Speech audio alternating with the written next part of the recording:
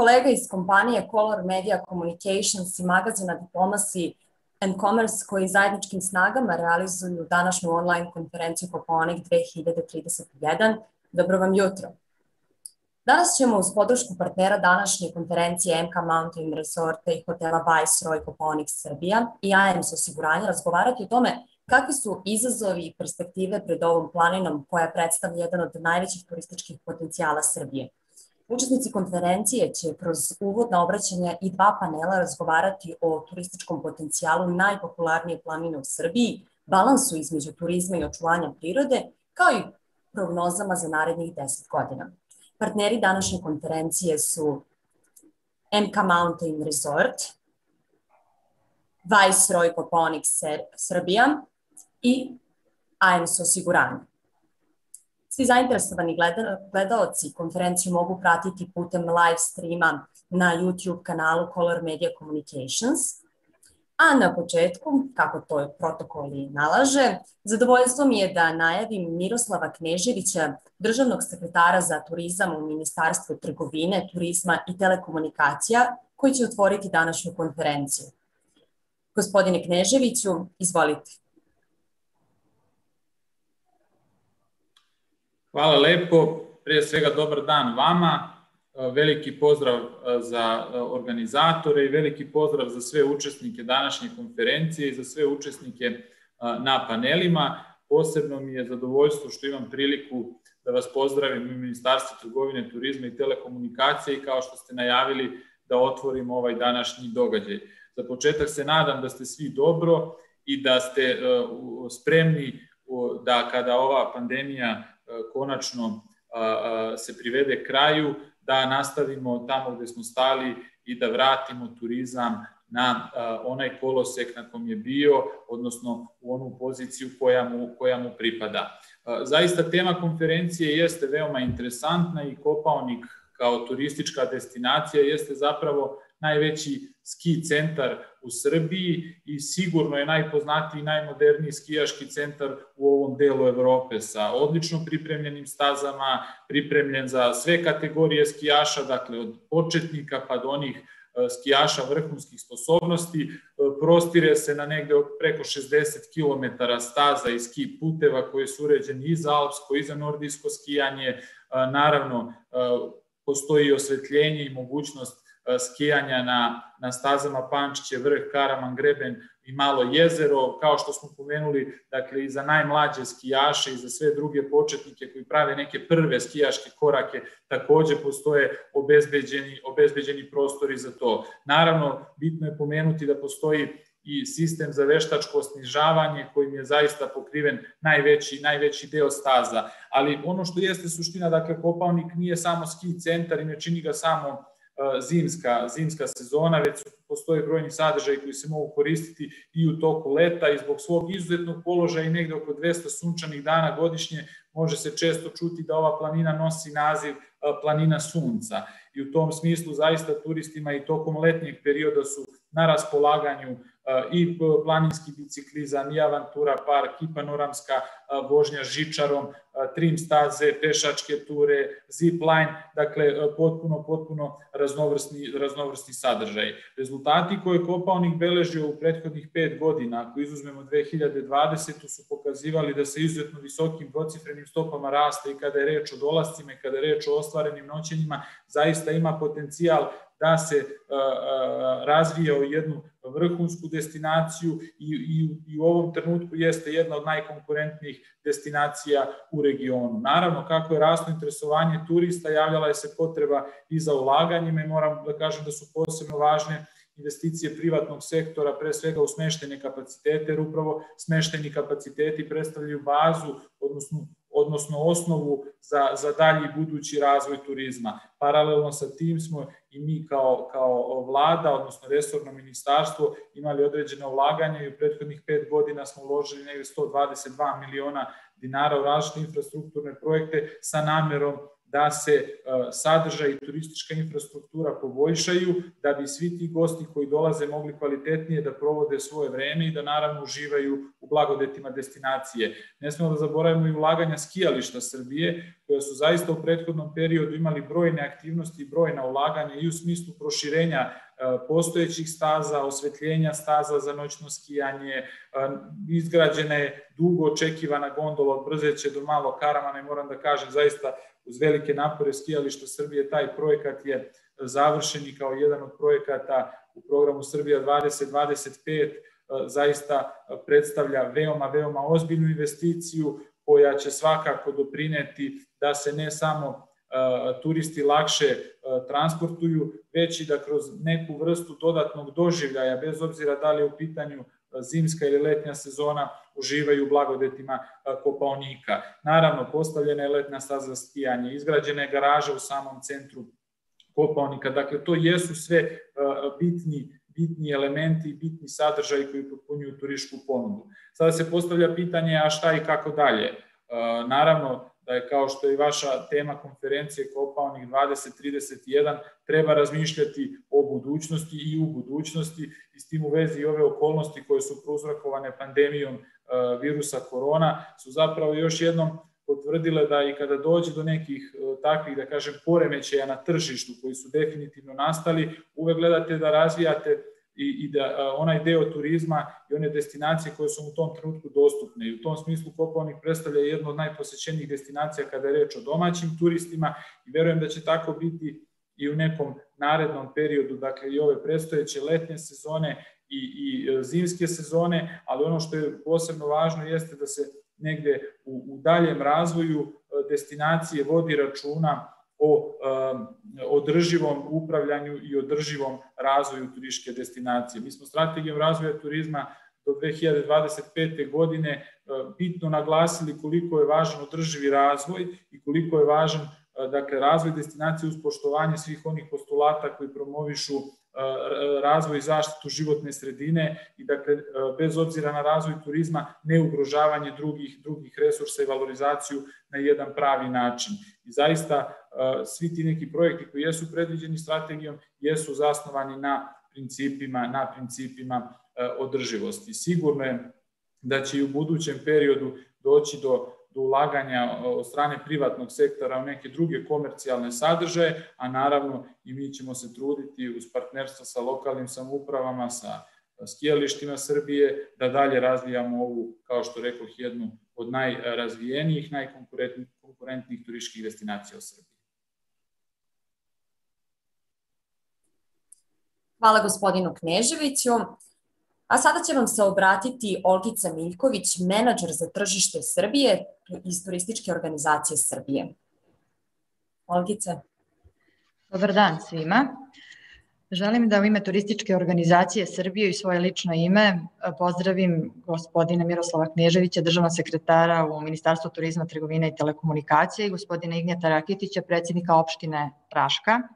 kao i sve učesnike oba panela uz duboko uverenje da će njihova bogata iskustva u turizmu doprineti donošenju dobrih, da kažemo, zaključaka kada je u pitanju perspektiva Kopaonika. Takođe bi se zahvalila i organizatoru na pozivu da još jednom turistička organizacija Srbije iznese i e, svoje stavove i svoje planove i učestvuje, da kažemo, u brojnim konferencijama koje, organizuje, e, koje vi organizujete, e,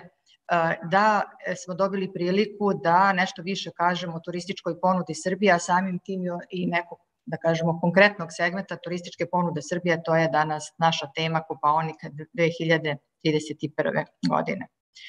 Ono što bih e, posebno istakla da e, mi u turističkoj organizaciji Srbije e, više Kopaonik kao turističku destinaciju ne ističemo kroz turističke potencijale. Negde smatramo da pre 10-15 godina je Kopaonik kada je da kažemo prerastao u celogodišnju turističku destinaciju sa, sa celogodišnjom turističkom ponudom više nije poznat samo kao zimski ski centar, odnosno kao jedan planinski centar, već kroz različite ulaganja Ministarstva trgovine, turizma i telekomunikacija, skijališta Srbije, opštine Raška i Brus, dosta se izgradila infrastruktura na Kopaoniku, a mi u turističkoj organizaciji Srbije smo se potrudili da kroz naše kampanje Moja Srbija vidi Srbiju, posetite Srbiju, negde kroz brojna studijska putovanja stranih organizatora putovanja i medija dovedemo znači, turiste na Kopaonik, dovedemo medije, dovedemo organizatore putovanja da upoznaju Kopaonik u nekom drugom svetlu, odnosno da dođu i u maju, i u junu, i u septembru i da prosto se uvere da Kopaonik je lep tokom cele godine. Ono e, što mi je takođe ovaj, jako bitno da, da istaknemo kao da kažemo jednu od, jedan od segmenata uh, u u ovom, da kažemo, predstavljanju ovog dela naše zemlje, odnosno turističke ponude Srbije, da kroz brojne ankete koje organizuje Turistička organizacija Srbije, kroz strateške planove, kroz, da kažemo, istraživanje stranih i domaćih turista, došli smo do zaključka da je Kopovnik uvek negde u vrhu da kažemo kad se u pitanju interesovanja turista, zatim kada je u pitanju njegova atraktivnost, sve to naravno potvrđuje i zvanična statistika koja negde beleži da je Kopaonik uvek negde u prva tri ili četiri ovaj, mesta, na prva tri ili četiri mesta kao turistička destinacija u Srbiji koja je jako ovaj, interesantna za naše turiste, upravo zato što ima raznorazne sadržaje koji su dostupni turistima tokom cele godine.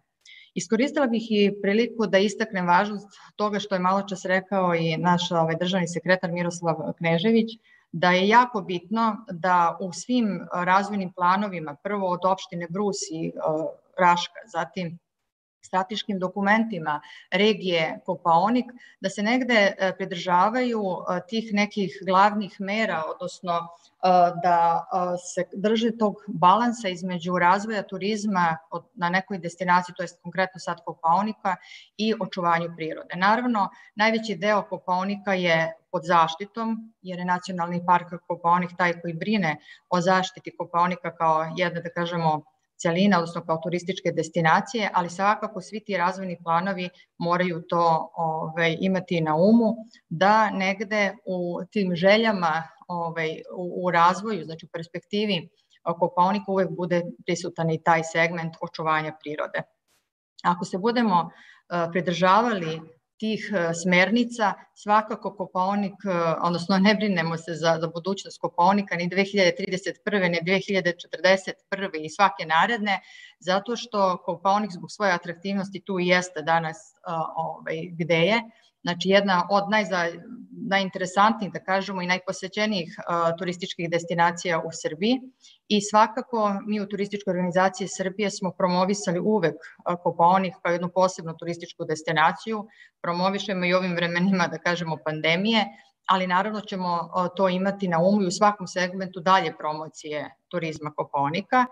Ono što bih još žela na, na kraju da, da istaknem, da, da našim učesnicima druga odnosno dva pa naredna panela, da e, očekujemo dobre zaključke, kreativne ideje s obzirom da su to sve naše kolege koje imaju veliko iskustvo u turizmu, tako da ne sumnjam da ćemo danas nakon oba panela imati dobre ideje za razvoj e, Kopaonika u budućnosti. Hvala gospođi Miljković. Pozivam sada Ignjeta Rakitića, predsednika opštine Raška, da vam se obrati. Gospodine Rakitiću, izvolite. Dobar dan i poštovanje svima. Pre svega iskoristio bih ja priliku da pozdravim sve učesnike oba panela, naročito uvodne izlagače gospodina Miroslava Kneževića i gospođu Obicu Miljković. Naravno,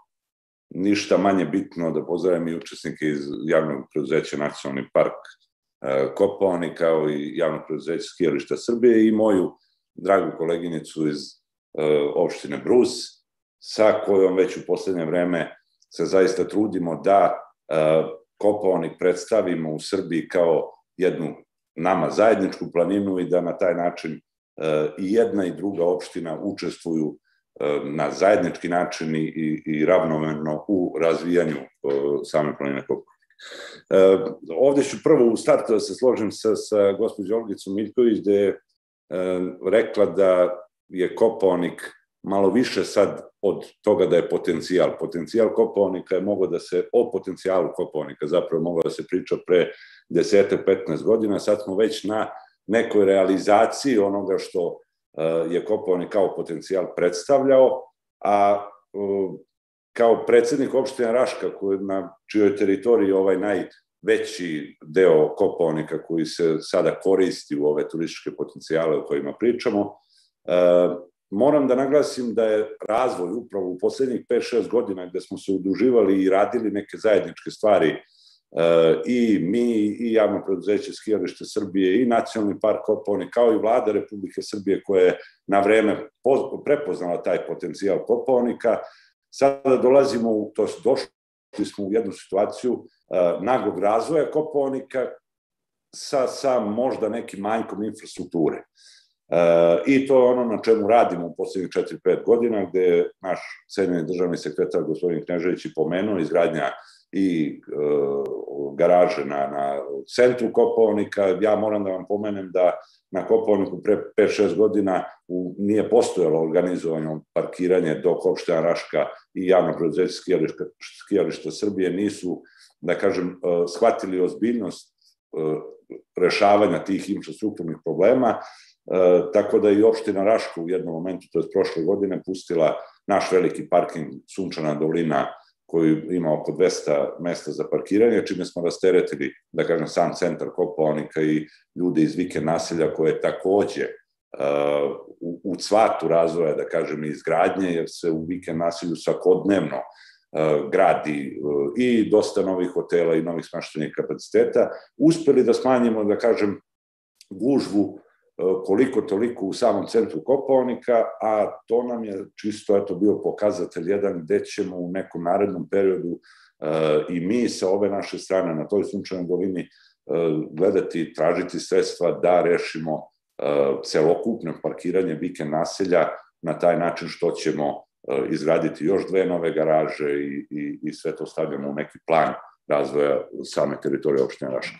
E, ono što želim da svi učesnici panela znaju, s obzirom da su to neke stvari koje, naravno, mnogi od nas se bave koponikom e, neko duže vreme, neko se bavi malo kraće, svi znamo šta je koponik, ali e, mi u opštini Raška se zaista koponikom bavimo dosta dugo i bavimo se onim suštinskim stvarima kada je rešavanje infrastrukture u pitanju i tu želim da pomenem to da smo se zaista lavovski borili u poslednjih 4-5 godina da rešimo ono što je, a e, gospođa Olgica je takođe pomenula zaštita životne sredine, e, ono što je jedan od najvećih možda i gorućih problema u, u, na Kopovniku, to je e, prečišćavanje otpadnih voda Kopovnika i vodosnabdevanje, jer taj naš, nažalost, veliki problem sa, sa ovolikim brojem smeštenih kapaciteta nije rešen svih ovih godina, Mi smo na dobrom putu i opština Raška uz e, Ministarstvo e, zaštite životne sredine uspela je da obezbedi nekih 23 miliona eura kako bi rešili kompletno prečišćavanje otpadnih voda Koponika i vodosnabdevanje ovog dela vikend naselja koje sa tim ima problem. Takođe, e, ono što sam i pomenuo u startu, početak u poslednjih par godina rešavanja samog parkiranja na Kopovniku. E, nadam se da ćemo u ovoj godini na samoj lokaciji Sunčana dolina uspeti da obezbedimo još dva sprata e, ovog samog parkinga o kome sad pričamo, gde ćemo, e, da kažem, više nego duplo povećati kapacitete samog parkiranja. Takođe, u saradnji sa javnim preduzećem Skijališta Srbije napravili smo jedan plan koji smo nedavno prezentovali predsednici vlade i ministarki turizma koji bi rešio da kažem, gužve na sam, u samom centru Kopovnika, oni koji su bili ove godine imali su prilike da vide, ajde da ne bude da ne pomenem pandemiju korone, koja nas je naravno sve zadesila i žao mi je što, naravno svima nam je žao što nas je to zadesilo, ali E, što je moralo do toga da dođe da bi svi oni ljudi koji su možda negde želeli da posete Koponik sad iskoristili priliku ili nisu mogli da idu e, na druga mesta, došli na Koponik i pokazali nam zapravo da ako budemo nastavili na ovaj način da prezentujemo i razvijamo Koponik, a ne budemo vodili računa o samoj toj infrastrukturi, na Koponiku će se jednog dana desiti kolaps, to se pokazalo sad u ovih par meseci poslednjih, kada smo za vikend imali po 3-4 sata čekanja u samom centru Kopovniku u automobilima, nije moglo da se raskrči, da se prođe kada su one famozne smen, smene e, turista na Kopovniku, tako da smo mi iz skijališta Srbije alarmirani na taj način što smo videli šta se dešava, upravo i napravili jedan plan o kojem sam počeo da pričam i prezentovali i predsednici vlade i ministarki turizma, e, po kome e, na taj način i po našem mišljenju mislim da u vrlo kratkom periodu, a za ne tako velika sredstva, e, možemo kompletno rešiti, rešiti gužve na Koponiku. To predviđa još, kažem, tri ili četiri velike garaže u, u, u donjem delu, to je na teritoriji opštine Raška kada je Vike naselje u pitanju i plan izgradnja gondole iz Bike naselja koja naravno koja će biti praćena, sva parkiranja će biti praćena sa uh, autobusima, popularnim busevima, koji će uh, preko uh, javnog preduzeća skijališta Srbije i preko opština Raška biti dostupni svim našim korisnicima smeštenih kapaciteta u Bike naselju i na onoj strani gde već teritorijalno je opština Brus. Takođe, e, ove gondole o kojima sam pričao su nešto o čemu se priča 20 možda poslednjih godina i hvala Bogu pokazalo se kao moguće izbrzeća gondola koja je izgrađena na, na, e, e, za ljude iz, iz Brzeća na Kopovnik da mogu da se popnu, tako da i mi verujemo da ćemo u nekom narednom periodu završiti projektovanje dve gondole sa strane teritorije opština Raška, jedna je predviđena da bude sa uh, iz vikend naselja, kako bi opet, da kažem, rasteretili uh, sam saobraćaj na, u samom centru Koponika, a ona druga gondola gde ja ne želim da ispustim, a da ne kažem da potencijal Koponika sada, ako već gledamo proširenje i ski staza i svega onoga što javno preduzeće skijališta Srbije planiraju i rade, a znam da uh, i vredno rade na tome i trude se da to isprate najbolje moguće. Ono što je potencijal Koponika sada i jeste naša Jošanička banja koja je nedaleko, nedaleko od Koponika i takođe u, u saradnji sa javnim preduzećem skijališta Srbije krenuli smo u projektovanje zapravo u pripremu projektno-tehničke dokumentacije kada je gondola iz Jošaničke banje u pitanju, jer eto, tema za, za razmišljanje u nekom od ova dva sledeća panela i jeste možda to kako uvezati, imamo ideje, ali nam treba opet infrastruktura, kako uvezati i samu Jošaničku banju sa Koponikom, gde ćemo dobiti uh, kompletnu jednu uslugu za sve naše uh, verne posetioce kada je turizam na Koponiku u pitanju i samim tim povećati i onaj potencijal kada je letni turizam u pitanju na, na Koponiku, a naravno moram da se zahvalim vladi Republike Srbije koja je taj potencijal Jošeničke banje i prepoznala i time e, i na taj način pokazala to na taj način što je krenula u rekonstrukciju e, saobraćajnice od Jošeničke banje do, e, do samog Kopovnika gde ćemo tu dobiti jednu modernu saobraćajnicu i da kažem možda ljude ubediti da malo tim putem kreću i krenu na Kopovnik i vide sve blagodeti Jošeničke banje. Ne bih vas više zadržavao, hvala vam svima, e, stvarno smo otvoreni za sve ideje, ja opet kažem, naš posao kao opština Raška je, pored toga da razmišljamo o tome šta mogu da nam budu ponude na Kopovniku, najvažniji posao da uspemo da obezbedimo, a na dobrom smo putu sve infrastrukturne e, stvari koje su, koje su potrebne na Kopovniku i mislim da ćemo na taj način omogućiti da Kopovnik i 2031. bude nešto što je možda i lepše nego danas i, i, i sa mnogo boljim referencama u krajnjem slučaju. Hvala vam svima i želim vam srećan rad. Hvala gospodinu Rakitiću. A sada je na redu prvi, prvi, prva panel diskusija za danas koja nosi naziv da li ćemo uspeti da pozlatimo Srebrnu planinu, Koponik u narednih 10 godina, izazovi i perspektive i zato predstavit ću vam moje sagovornike za danas. Sa nama su Radoš Đorđević, direktor MK Mountain Resorta i hotela Grand, Goran Kovačević, generalni direktor hotela Viceroy Koponik Srbija, Aleksandar Seničić, direktor Nacionalne asocijacije turističkih agencija Srbije JUTA. E sada, s obzirom na to da a, pričamo ovog jutra o a, perspektivama Kopaonika, dakle u kom pravcu će se kretati uopšte Prvo pitanje će biti za Radoša Đorđevića. Da li se čujemo? Da, čujemo se, veliki pozdrav. E, gospodine Đorđeviću, za vas pitanje, kada pričamo o perspektivama Kopaonika, eto, poznato nam je informacija da um, MK grupa ulaže 20 miliona eura, pa mene interesuje u kom pracu će se iz vašeg ugla kretati razvoj promocija turizma na toj planini i kako vidite Kopaonik u narednih 10 godina? Tako je, Jovana. Upravo kao što ste i spomenuli, e, naša matična kompanija je prepoznala ovaj, destinaciju i jednostavno smo pokazali da želimo da i u budućnosti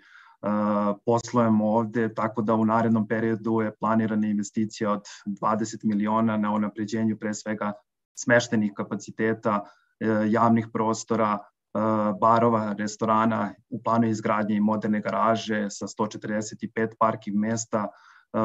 radimo i nov residence deo u sklopu hotela sa 44 privatna apartmana, tako da eto, jednostavno što se tiče same luksuzne ponude Koponika u budućnosti, mislim da mi hotelijeri ovaj, smo na pravom putu i jednostavno i ovo što je gospodin Ignjac spomenuo, ovaj, što se tiče i samih eh, resursa i potencijala planine, mi, ajde kažemo, jako, jako vredno radimo u tom segmentu. Svedoci smo, da kažemo, jednog luksuznog napretka Koponika, predikcije su da će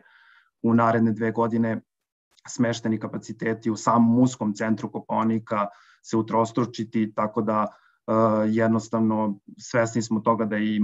MK Mountain Resort i Hotel Grand već godinama unazad su i pioniri i pokretači destinacije, tako da svim snagama radimo i za budućnost i za napredak. Pre svega meni je to uh, lični motiv i satisfakcija da imamo jednu zdravu konkurenciju, da unapređujemo sami sebe, da e, stvorimo jednu onako zdravu sredinu u segmentu kako bismo zadovoljili i budućeg modernog turistu sa svim infrastrukturnim unapređenjima koje je gospodin Ignjat i spomenuo, na koje jednostavno i ne možemo da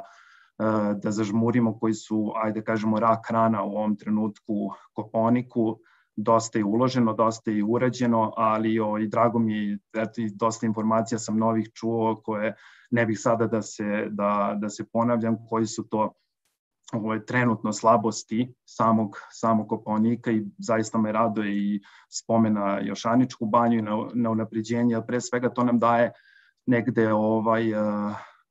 Koponik živi 365 dana gospodin Miroslav je spomenuo da to planina sunca. E, imamo jako, jako dobro, stabilan i razvijen segment u smislu, e, u smislu skijanja, jedan modern e, skijaš danas može da, da uživa u potpunom komforu na Koponiku, ali taj letnji, letnji turizam je jednostavno ogroman, ogroman potencijal. Svedoci smo kako to rade Eh, mnogi hoteli u Evropi eh, eh, i u svetu i koliko je bitan taj letnji turizam upravo u smislu tog aktivnog odmora. Ovo leto nam je, to je prethodno leto nam je pokazalo, ovaj, bili smo jednostavno ovaj, prinuđeni da, da ugostimo veliki broj domaćih turista i pokazalo nam je upravo to da je Koponik prepoznat i u tom segmentu i da nudi obilan, obilan broj i sadržaja i potencijala. Imamo i endemske vrste i biljaka i e, fenomenalne lokalitete poput e, vodopade Jelovarnik, Semeteškog jezera, e, Markovog kamena, znači prelepe kozje stene, isto jedno onako e, prelep, prelep prizor, tako da eto smatram da, da u budućnosti jednostavno ovaj, možemo dosta, dosta napredovati u, u tom segmentu. E, ja bih samo, eto, vratio se nekih 12-13 godina unazad kada je urađen jedan kompletan master plan uh, Koponika, uh, gde se upravo uh, spomenulo to gde su interesni subjekti uh, učestvovali, ovaj, Ministarstvo ekonomije je pokrenulo tu inicijativu izrade master plana za Koponik i uh, krucijalna tema koja eto i nakon 13 godina se uh, javlja jeste ta upravljački, taj upravljački model same destinacije koji se tada smatrao kao e, nedefinisan i neusaglašen među interesnim subjektima. I smatram da je to i dan danas tema na kojoj moramo mnogo svi zajedno da radimo. Mi kao kompanija smo i pokrenuli, inicirali sastanke sa resornim ministarstvom kako bismo jednostavno objedinili sva, sve ekspertize, sva znanja, svaku u svom segmentu kako bismo komunicirali. Znači ta komunikacija i upravljački model destinacije po meni jako krucijalna i jako bitna tema ovaj, na kojoj moramo jako mnogo raditi u budućnosti. Tako da toliko za sada. Hvala vam gospodine Đorđeviću. A sada um, da li gospodin Kovačević, Goran Kovačević. Ako se čujemo. Čujemo se. Odlično. A, pitanje za vas takođe, kako vi vidite perspektive Kopaonika, u kom pravcu će se kretati razvoj i promocija turizma na ovoj planini i kako vidite Kopaonik u narednih 10 godina? Pa, kako vidim, kako ga vidim ili kako bih volao da ga vidim, to su možda ovaj, dve, dve različite stvari. E, Koponik je neminovno naš nacionalni park, e, skijaški centar e, koji će sigurno, ne samo skijaški centar, nego i, i centar za letnji turizam i tako dalje, koji će neminovno raditi dobro. Evo sada, na primjer, imamo i Vajseri hotel dolazi i prvi internacionalni hotel koji dolazi na Koponik. E, Biće tu još hotela, dolazit će strani turisti. E, ja vidim da je Koponik će se otvoriti u narednom periodu e, kao destinacija u Evropi. Ono što mene više brine kod Koponika jeste što je, ovaj, jer ja bi samo, nije ovde sada pojenta ukazivati na to kako ga mi vidimo. On će neminovno biti dobar, on će neminovno raditi, mi vidimo sada da on cveta i preko leta i mi ćemo i na tome raditi u narednom periodu da ga otvorimo kao evropsku destinaciju, evropsku skijašku destinaciju, a da ga otvorimo i kao mesto za letnji turizam. E, moram da priznam da sam dobio neke odgovore na pitanja i od gospodina Ignjata ranije i gospođe Miljković, ovaj, ali ono što je problem kod Koponika jeste infrastruktura i drago mi je da se na tome trenutno radi. Problem su otpadne vode, problem je vikend naselje koje neminovno izgleda kao ono pečurke posle posle kiše kada krenu da rastu i mislim da smo svi svesni tog problema, e, svi smo svesni da e, naš nacionalni park leži na septičkim javama Svi smo svesni da je Koponik jedno trusno područje, svi smo svesni da vodu u vikend naselju koristimo iz jezera na Koponiku. I ja samo kažem, ne dao Bog nekog malog zemljotresa ili, ili nekih stvari koje potencijalno mogu da se dese i ono što smo mi uradili kao ljudi, što smo mi uradili i izgradili u posljednjih deset godina sa, ja ne mogu da znam da li je to planska gradnja ili nije, ja uopšte ovaj, ne ulazim u to, ali činjenica je da to nije ono kako bi Koponik kao nacionalni park trebao da izgleda. I mislim da bi ozbiljna, ozbiljno pitanje bi trebali, se, trebali sebi da postavimo. Da li hoćemo i dalje da gradimo onoliko koliko se trenutno gradi u vikend nasilju. Po meni ono više nije nacionalni park, trebalo bi napraviti jedan ozbiljan elaborat oko toga kada može da se gradi, koliko može da se gradi, kako ćemo rešiti otpadne vode, kako ćemo rešiti infrastrukturu, kako ćemo rešiti saobraćaj. I ono što je možda trenutno goruće pitanje na koje nisam čuo odgovora, volio bih da ovaj, da ga danas postavimo i da znamo jeste šta se dešava sa bolesti šuma na Kopaoniku, šta se dešava sa e, borovima, sa gljivicama koje su neminovno napale Kopaonik. Danas je poprilično tužno skijati na Kopaoniku i gledati svo ono drveće, vi danas kad idete uz Duboku, na primer, uz šesticu gore i kada se penjete ski liftom, pola šume nema. Znači njih su gljivice pojele. Ja ne znam da li se nešto dešava, ja nisam biolog, ovaj, ali bih volio da vidim i taj problem koliko znamo postoji već 10 godina, koliko sam ja čuo taj problem se dešio zbog neke suše koja je nastala te godine na Koponiku, ali koliko ja vidim iz godine u godinu postaje sve gore. Drveća padaju, jedno drvo razboljeva drugo i mislim da ako a nisam još uvek čuo da se nešto radi ili će se nešto planski uraditi. Ako grešim, ja bih stvarno volio da me neko ispravi, ali mislim da je to ozbiljan problem koji Koponikova planina ima drveća se suše, Koponik više nije zelen koliko je nekada bio. I mislim da ovaj, to su neki naši problemi, mi možemo njega da razvijamo, možemo da gradimo, možemo da ulažemo u infrastrukturu koliko god hoćemo, ali ako mi neke osnovne stvari ne rešimo, poput otpadnih voda, poput bolesti šume koja je neminovna i koja napada sve, nema mi čemu to mnogo da se nadamo. Ono čime se danas dičimo će neminovno nestati za, za 5 godina, 10 godina, 20 godina. A ja opet kažem, mi znamo, mi se sećamo zemljotresa 80. godina koji je bio na Koponiku, ja mislim da je bilo 7,7 Richterove skale. Ne do Bog da se još jedan desi na Koponiku trenutno i ono što je trenutno u vikend naselju što se tiče i gradnje i otpadnih voda, mislim da m, mm, još uvek možda imamo vremena da se ta ekološka katastrofa koja potencijalno može da se desi na Koponiku, da se ne desi. Mislim da još uvek razumno možemo da je sprečemo. Tako da mislim da bi trebali da se pozabavimo time i, ovaj, i kažem, neke odgovore sam već dobio, što se tiče infrastrukture i otpadnih voda, ali bih zaista volio da čujem šta se dešava sa sa šumama Koponika, jer mislim da su one trenutno u ozbiljnom problemu. Drugo, isto to onolika gradnja, ja na Koponik idem preko 30 godina, vi ste nekada pre 10-15 godina u vikend nasilju imali sneg, e, cele sezone. Snega više nema u vikend nasilju. Bude ga 5 dana, 7 dana, 10 dana. Jednostavno, toliko je tamo betona, toliko nema šuma više u tom vikend nasilju, da mislim da ulazimo u jedan ozbiljan problem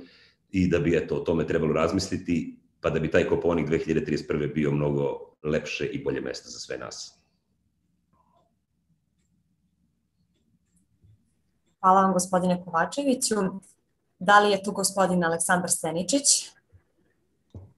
Dobar dan, dobar dan, tu sam, da se čujemo. Dobar dan, čujemo se. A, pitala bih vas, da li možete da uporedite turističku ponudu Kopaonika pre 10 godina, sada i šta su vaše očekivanje u narednih 10 godina? U čemu vidite put ka daljem napredovanju u promociji ove turističke destinacije? Pa, pre svega, evo da pozdravim sve ljudi koji su ovde trenutno prisutni. Drago mi je da, da je pokrenuta generalno ova tema. Čuli smo uh, na neki način probleme koji postoje. Ja ću se potruditi da u nekom narednom periodu, evo ovih narednih desetak minuta, možda dam neki presek onoga kako mi iz turističkih agencija, evo ja koji sam 30 godina u ovom poslu, ovaj, gledamo na Koponik sa stanovišta turističkih agencija i sa stanovišta tržišta koje neminovno utiče na prodaju i, i na korišćenje i samih kapaciteta na Koponiku, ali i naravno i svih ostalih usluga koje ovog trenutka Koponik nudi. Dakle, nije baš tako lako sagledati turističku ponudu i uporediti sa onom koja je postala sad već davne 2010. godine i nije loše da ste baš izabrali 2011. godinu kao nekakav reper odakle pratimo celu situaciju, jer ulazak MK grupe na, na, na tržište Koponika 2009. godine je uz zaista nagli zaokret na bolje u smislu ozbiljnih investicija koje su sprovedene i e, skilište Srbije takođe u nekom tom periodu je totalno i njihov uticaj naravno totalno promenio stanje na planini definitivno na bolje. Kada su dve ove kompanije odlučile da se ozbiljno i planski investira, to je aktiviralo i veliki broj drugih koji su se odvažili da shodno svojim planovima i finansijskim kapacitetima ulože novac. Time se apsolutno može reći da je došlo do povećanja i poboljšanja turističke ponude na Koponiku, pre svega u celokupnom zaokruženju nekakve ponude smeštaja prema tipu i kvalitetu. Dakle, mi danas imamo situaciju da Koponik zaista raspolaže sa velikom i raznovrsnom ponudom, eto i Viceroy dolazi na Koponik, dakle hotel sa pet zvezdica, jedan od redkih, dakle čini mi se da je njima druga destinacija tog tipa gde se pojavljuju i to će svakako zaokružiti ovaj, tu ponudu na, na pravi način. Dakle, postoji jedna ozbiljna ponuda privatnog smeštaja, i postoji vrlo dobra ponuda hotela od 2 do 4 zvezdice na, na, na bazi onih usluga koji gosti najčešće e, traže. Ono što se meni čini negde da je jako važno, a to je da e, bi nam eventualno možda još neki hotel, standardni hotel, tri zvezdice koji se na, na turističkim tržištima pre svega skijaša, pravih skijaša traži, možda fali, ali kažem to je ja verujem da će biti prepoznato i, i kroz analize neke koje će hotelijeri raditi, da će to u nekom narednom periodu zaista i biti tako. Voleo bih, kao što je pomenuo i, i kolega Kovačević, da se malo više planski gradi na Koponiku i da vodimo računa o svemu ovome što su zaista aktualni problemi i sa čime se susreće Koponik proteklih ja bih rekao ne deset, nego od, od, od početka ozbiljnog bavljenja turizmom pa do danas. Dakle, e, kada se završete neke planske rekonstrukcije nekih starih objekata, mišljenja sam da će ponuda u centru Kuponika biti zaokružena i apsolutno dovoljna. E, dakle, ono što mislim da je jako važno da, da, da pomenemo je da kada poredimo cene, obzirom da se o tome jako puno priča, pogotovo sa stanovišta nas koji smo u kanalu prodaje i hotela i svih ostalih smeštenih kapaciteta, moram da kažem da recimo radili smo neke analize 2015. 16. i 2020. 21 na nekim reprezentativnim uzorcima kao što su Grand Konac i Nebeska stolica, da su cene ostale iste. Dakle, one su otprilike na istom nivou kada ih naravno poredimo u eurima i moram da kažem da e, sa podizanjem kvaliteta objektivno dobijamo daleko više nego što smo dobili 2015. godine. To je dakle činjenica jer e, tu mislim da ne treba puno e, pričati. Kad je rečao, ja bih dao jednu rekonstrukciju, onako, ajde da kažem, svih nekih detalja za koje mi smatramo da su važni ili Evo, u krajnjem slučaju, ja smatram da je jako važno kao neko ko se dugo ovim poslom bavi. Dakle, mislim da je saobraćaj jedan, jedna od bitnih stavki koje utiču i na popunjenost kapaciteta i na generalno na celu destinaciju. Dakle, određene stvari na Koponiku funkcionišu dosta dobro. Evo, pomenuću recimo da čišćenje u toku zime je uglavnom dobro i sem problema koji su već istorijski, da tako kažem, na jarmu, putari uglavnom dobro rade svoj posao. Dakle, i prema informacijama sa terena imamo saznanje da već par godina drugi ili treći dan od nekih većih padovina imamo potpuno čist asfalt. Dakle, put preko Rudice takođe sasvim u redu, sem problema sa parkiranim vozilama, mislim da to svi znaju već u reonu objekata zone Dmujan Luks i Kraljevi Čardaci, dakle to je nešto što je akutan problem i mora da se reši. E, imamo sad fazu rekonstrukcije popravke puta od Jošaničke banje prema Koponiku i nadamo se da će to do naredne sezone biti zaista kako treba. E, zaista mislim da je ovaj segment značajno unapređen kad je reč pre svega o putarima, ali ono što je standardan problem je da ljudi ili nemaju adekvatnu opremu kada se penje na Koponik ili ima jako, pa moram da kažem i bahatog načina parkiranja i to u mnogo velikoj meri e,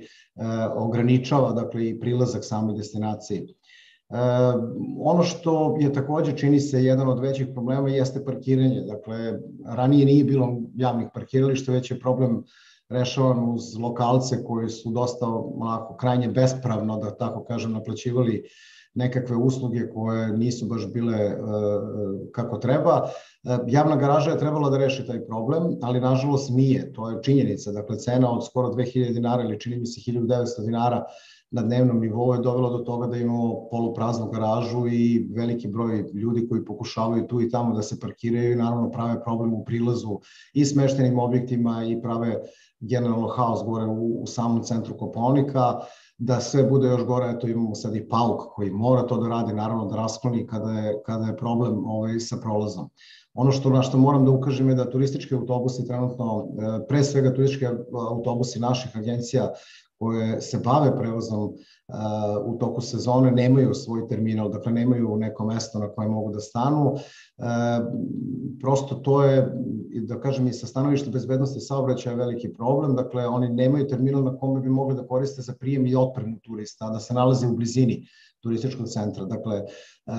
tu planiramo da se obratimo opštini Raška da nam pomogne u rešavanju ovog problema, jer trenutno se snalazimo koristići parking MK grupe, koji je namenjen pre svega autobusima za radnike i za autobuse iz redovnih linija. Ostala ponuda na Koponiku, dakle da sad ne ulazim u sve to, zaista sve postoji. Postoje prodavnice, ski barovi, ski rental depoji, vožnje razne, dakle iznemljivanje sanki, kvadova, već znamo nadaleko do, dobro poznat noćni život Koponika pre ovog covid pa se nadamo da će i to brzo proći i vratiti se tamo. A kada govorimo o samom skilištu, mislim da u, u periodu od 2008. čini mi se ili 9. godine pa na ovamo skilište Srbije zaista su investirali izuzetno veliki novac kako bi se poboljšalo na predelo skilište i to je zaista učinjeno na jedan jako dobar način. Izvedeni su ogromni radovi u toku nekoliko letnih sezona i značajno je poboljšan kvalitet skijaških staza i ono što je bitno, ta posledica svega toga je zaista maksimalan broj dana korišćenja skijališta, što je velika stvar. Zamljene su sve žičare, dakle, e, postavljene su najmoderniji sistemi, žičara na Krčmarove poslednje generacije i onaj pored tih nekih pleksiglas vetar zaštite posjeduje čak i grejač i besplatan Wi-Fi, eto za one koji to možda nisu znali. Dakle, te nove staze svakako povećavaju ponudu, smanjuju gužu i samim tim imaju pozitivan utjecaj na bezbednost putnika i onih ljudi koji borave gore. Podatak koji je javno dostupan je da je skoro 97% skilišta prekriveno veštačkim snegom ili ima mogućnost za veštački sneg je, govor, govori sam za sebe. Čini mi se da smo tu onako napravili zaista jedan veliki pomak i uh, moram da pomenem, pošto ću malo i kritikovati ovo sad, samo ovako hvalim za početak, ovaj, da mislim da i velike investicije koje je uložila skijalište Srbije u periodu 2012. do 2017. ili možda 18. godine u smislu ponude i za letnji boravak na Kuponiku, a pre svega tu mislim na tubing, zipline, bob na šinama, avantura park i tako dalje i tako dalje, mislim da u značajnoj meri je poboljšalo ponudu kad je reč o, o samoj letnjoj sezoni. Ono što moram da, pošto sam ih sad mnogo hvalio, eto malo i da ovaj, iskritikujemo recimo skilište Srbije, velike žalbe i, i postoji veliko nerazumevanje za veliku, veliki skok cena šestodnevnog ski pasa, dakle koji pamtimo da je u tom periodu, početka ovog perioda o kome pričamo, 2011. 12. 13. godina bio negde na nivou 9000 i 800, 9900 dinara, dakle svakako manje od 10.000, koji je skočio do, do 15.750, ako se ne varam ove godine, dakle skoro 60%. Nisam stručnjak koji mogu, može da utvrdi neku opravdanost ovakvih ovaj, e, promena, ali mislim da to, e, svakako su to niže cene nego na nekim zapadnim skilištima, ali mislim da je neracionalno u toj meri, u krajnjem slučaju e, ljudi iz javnih skilišta svakako znaju zbog čega su to uradili. I kad govorimo o ovom periodu, mislim da je jako važno da kažemo da će i izgradnjom gondole Brzeći Koponik i to puštanje u rad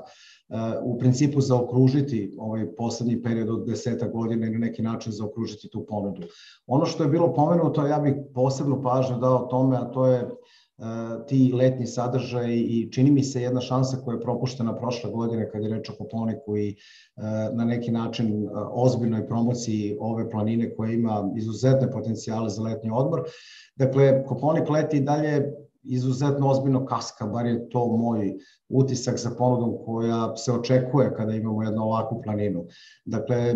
kad govorimo o zimi, tu znamo, priroda se uglavnom ponudila, naravno, pre svega Genex u prvo vreme, pa onda Skilišta Srbije, evo sad MK Resort i, i drugi privatni investitori nastavljaju tu neku tradiciju. E, ne znam da li i koliko ljudi znaju i malo se o tome priča, ali stručni vodiči iz Nacionalnog parka Koponik, rangeri, kako ih mi zovemo, toku letne sezone organizuju pešačke ture koje su vrlo jeftine i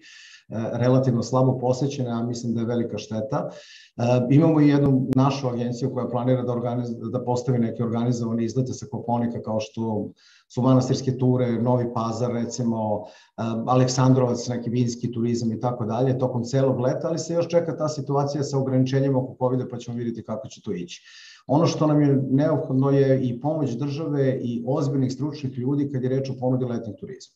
Dakle, tu treba da se skupe svi ljudi koji zaista o ovom poslu nešto znaju iz komercijalnog pa iz državnog sektora i da se napravi jedan ozbiljan projekat na koji način e, Koponik treba unaprediti u toku letnje sezone, jer ono što mi ovog trenutka imamo, mislim da Koponik e, zaslužuje daleko bolje. Dakle, e,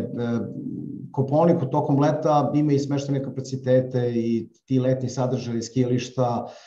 odgovaraju, ajde da kažemo, neko, neki, neki način nekoj tražnji, međutim e, se zatajilo sa, sa recimo projektom dobrodošlice, organizacijom parkiranja, pokretnih toaleta za pešačke ture, recimo to su samo neke stvari koje smo mi notirali i za koje su se ljudi žalili. E, pre svega imali smo problem u ljudstvu, dakle to lokalna, lokalne ili lokalna turistička organizacija morala da angažuje da, na, da se nađe turistima tu. Dakle, ljudi ne znaju mnogo o Koponiku. E, tom neaktivnošću je načinjen, e, Koponik je izgubio možda šansu da se dopadne nekoj novoj publici. Imali smo na stotine i stotine ljudi koji su koristili usluge panoramske žičare i posle toga zaista nisu imali ni šta da vide, niti bilo koga da im bilo šta pojasni tu. E, mislim da to mora e, da se radi planski, da mora potpuno drugačije da se pristupi svemu ovome da bismo imali aktivan koponik i od aprila do novembra, što mislim da je interes e, ljudima koji i, i tamo imaju objekte. E, ono što hoću da kažem da treba prepoznati trenutak kada je Koponik dobio te nenadane goste za koje faktički nije potrošio ni dinar za neku veliku promociju, ali je trebalo da se potroši nešto novca iz, iz lokalne samouprave, pa možda čak i iz nekih državnih sredstava, da se nađemo tim ljudima, da predstavnici na licu mesta uh, predstave Koponik u, u pravom njegovom obimu. Dakle, to je ono što mislim da fali. Uh, I evo, polako ću privesti kraju, mislim da uh,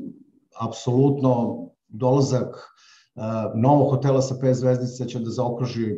apsolutno tu ponudu Koponika na najvišem mogućem nivou. Kažem, pomenuo sam da bi volao da se više planski gradi, jer prema onome što najavljuju privatni investitori, bojim se da može da to predstavlja jednu hiper ponudu smeštaja koja na jedan način može da uruši kvalitet i naglo obori cene na destinaciji sa čime smo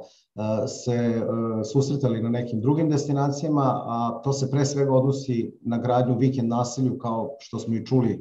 od kolegi pre mene. Dakle, dodatni debalans može da učini povezivanje Brzeća sa skilištem,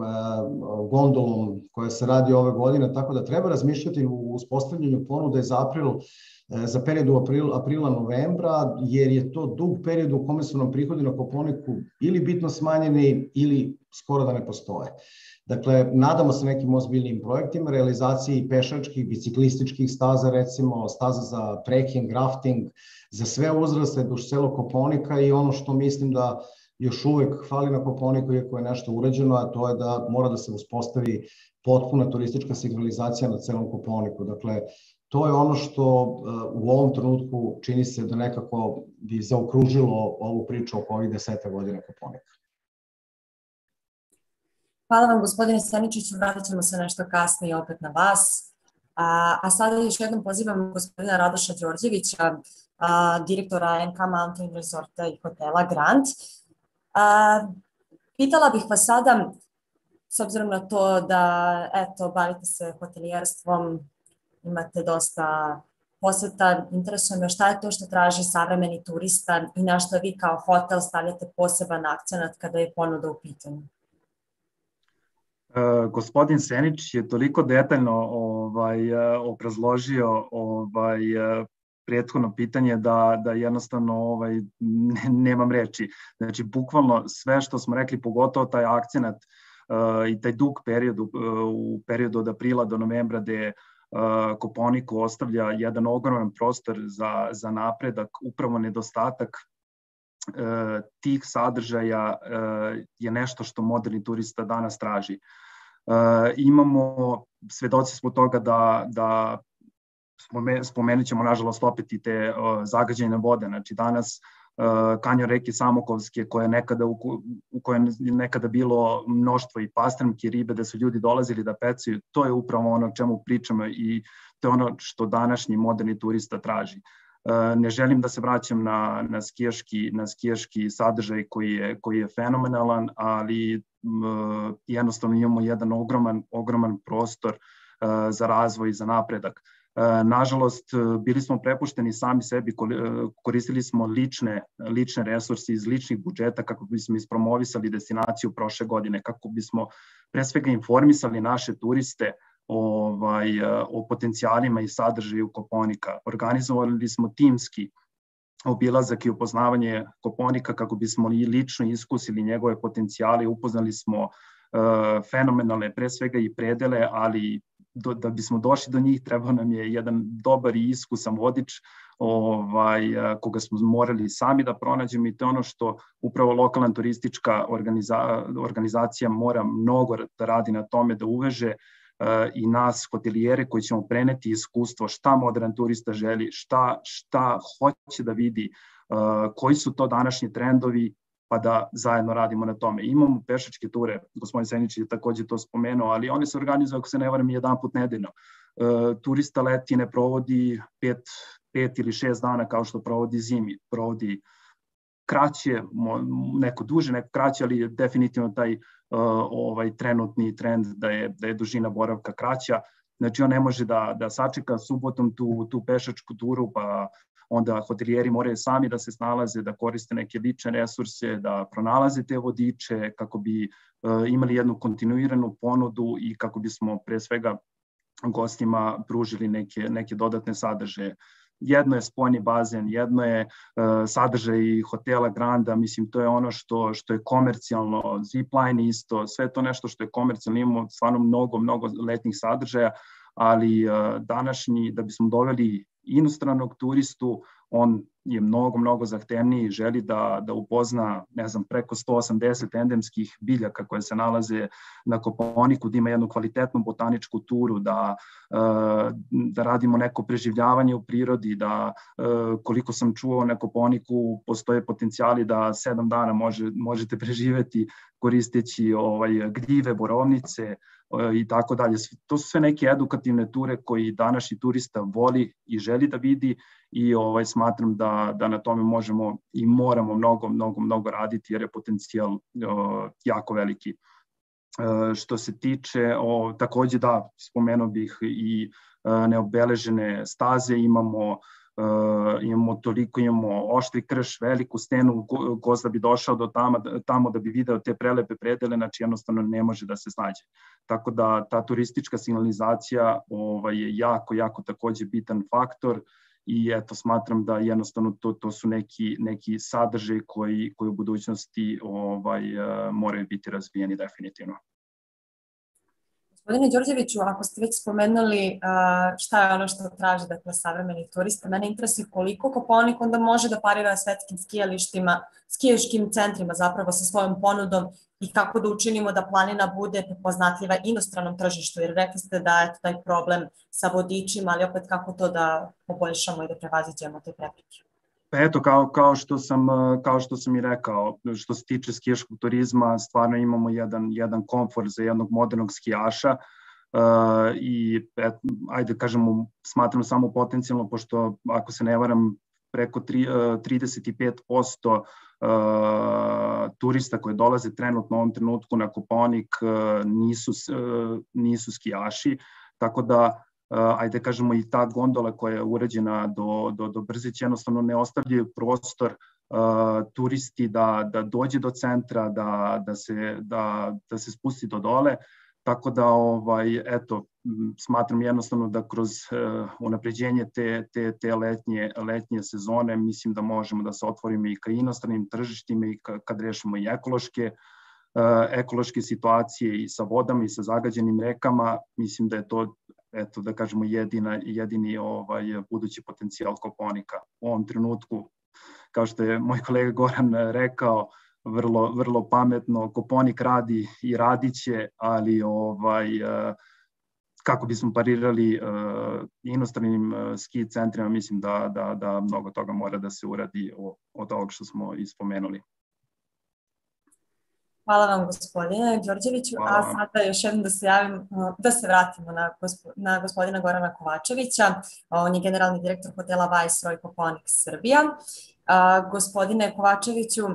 šta vi mislite da traži savremeni turista i na šta vaš hotel stavlja poseban akcent? Uh, samo ću da se vratim na, na izlaganje gospodina Seničića i mislim da svi koji imaju bilo kakvu uh, moć odlučivanja i uh, uticaja na Koponik, da treba da preslušaju njegov govor imaju biznis plan za narednih 5 do 10 godina. Tako da ovaj, ne moramo ništa dalje da idemo, da idemo od toga. A ovaj, šta traže turista? Pa uh, pre svega ja, ovaj, šta je, mislim da je suština. Ja kogo god sam doveo na Koponik od, od mojih prijatelja, stranaca i tako dalje, oduševljenje je ogromno. Tako da mi svi znamo da Koponik sam po sebi nudi jednu predivnu prirodu, jedne lagane skijaške staze, tako da mi tu nemamo mnogo problema. Turista kao i svaki drugi bira hotel u kome će da ocene kategorizaciju ili ti hotel određene kategorije u koji će ići, mi se trudimo da našim dolaskom podignemo, podignemo nivo usluge na, na malo veći nivo nego što je to bio, iako mislim da je usluga Koponika ovaj, jako dobra i kvalitetna. Ono što je e, meni, na primjer, primarni cilj jeste, mi smo radili neka određena istraživanja na nekim nama bitnim tržištima, poput Rusije, Nemačke, Velike Britanije, i interesantno je da preko 90% agencija uopšte nije imalo Kopaoni kao skijaški centar na mapi. I jednostavno to nije, nije im bilo poznato. A fascinantna je činjenica, kolega Genov mi je davno još pričao da, da Genex krajem 80. godina, to su jedan ili dva čarter leta bila nedeljno koja su dolazila, e, sletala da li u Niš, da li u Beograd i odlazila na Koponik. Jednostavno mi smo malo skrenuti sa strane i ovaj, zaboravljeni nekako na, kao, kao, kao skijaška destinacija i mislim da neki moj, neki naš primarni cilj i u saradnji sa, sa kolegama iz Granda, iz Gorskog i tako dalje u narednom periodu da je naš posao, a naravno i sa turističkom organizacijom Srbije i, i, i e, lokalnom samupravom, da gledamo samo da vratimo Koponik e, na mapu kao skijaške destinacije i da ga vratimo na mapu kao e, jedne prelepe letnje destinacije. I mislim da, ovaj, a mi ostali hoteleri ćemo se pobrinuti da to sve bude kako treba. Tako da, eto, toliko. Možete samo da razjasnite zašto smo zaboravljeni, pošto se navodi da Kupalniku fali još nekih 30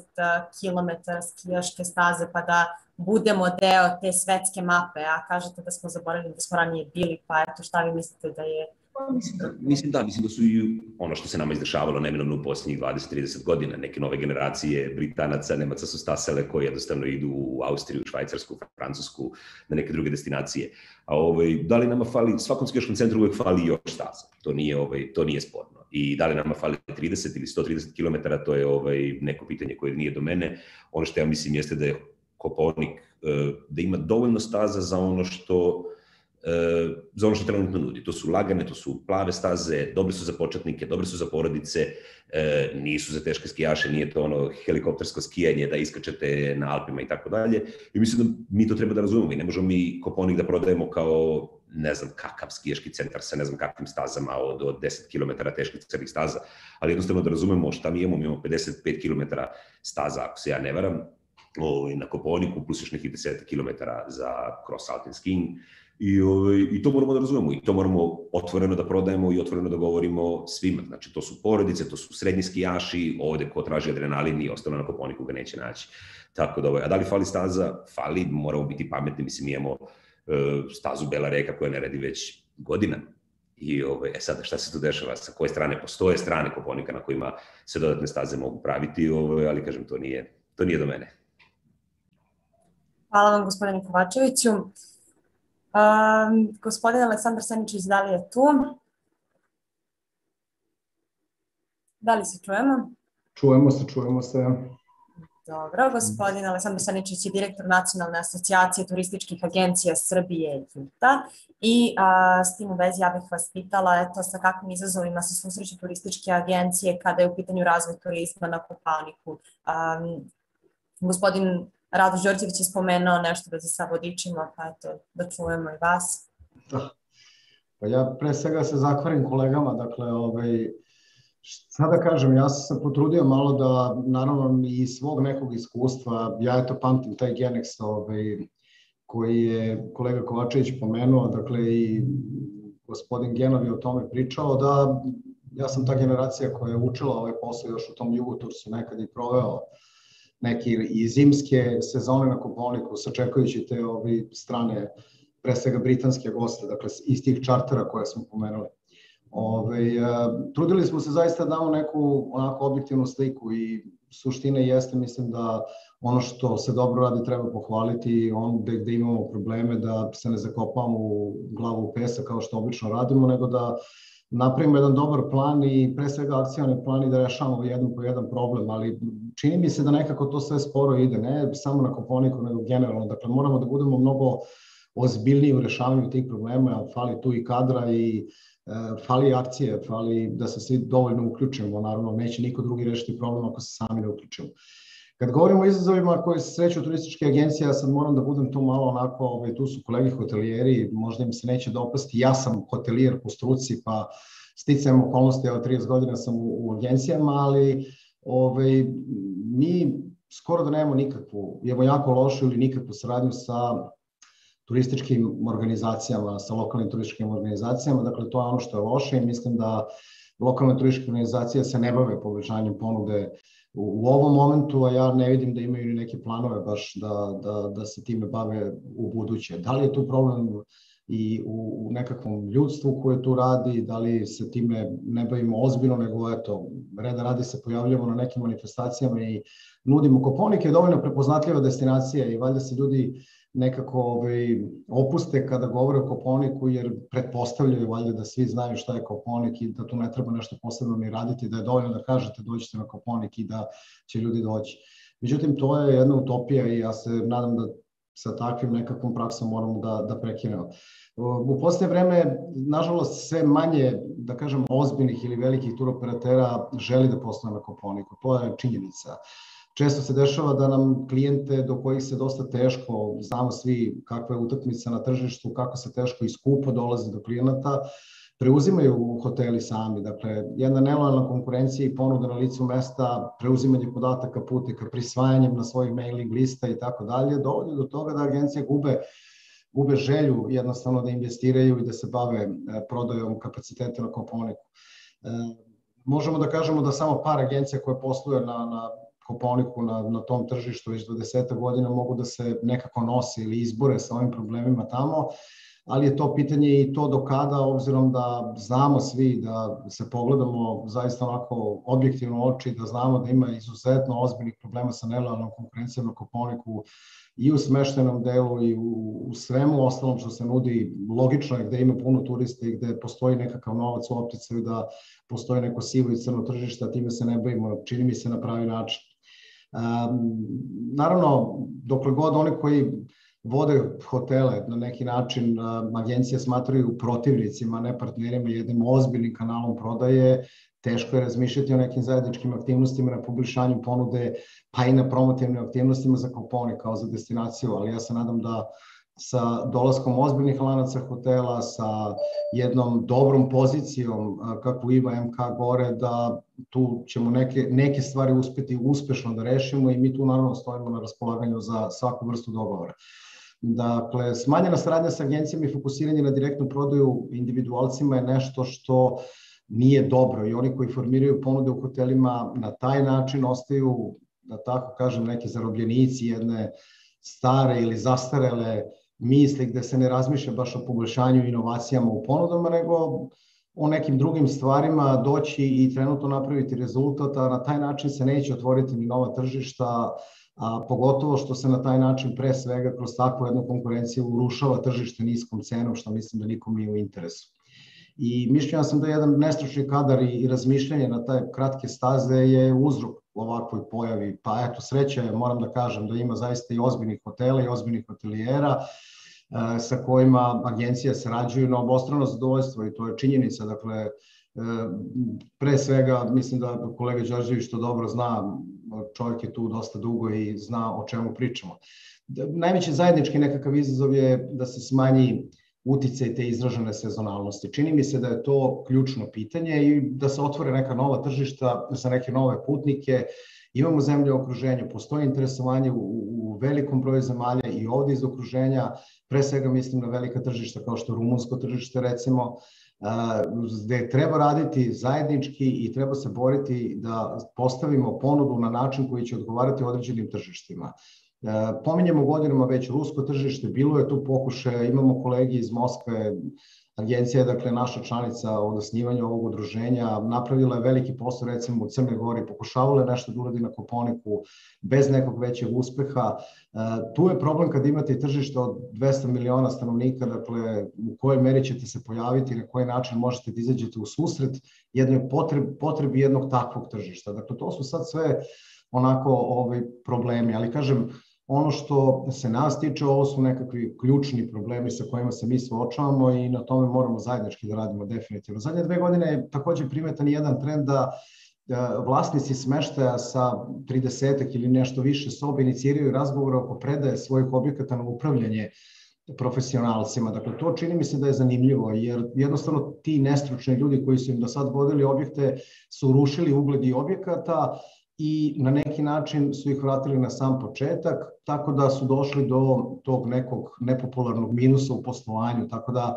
mislim da je i manjak radne snage takođe nešto o čemu e,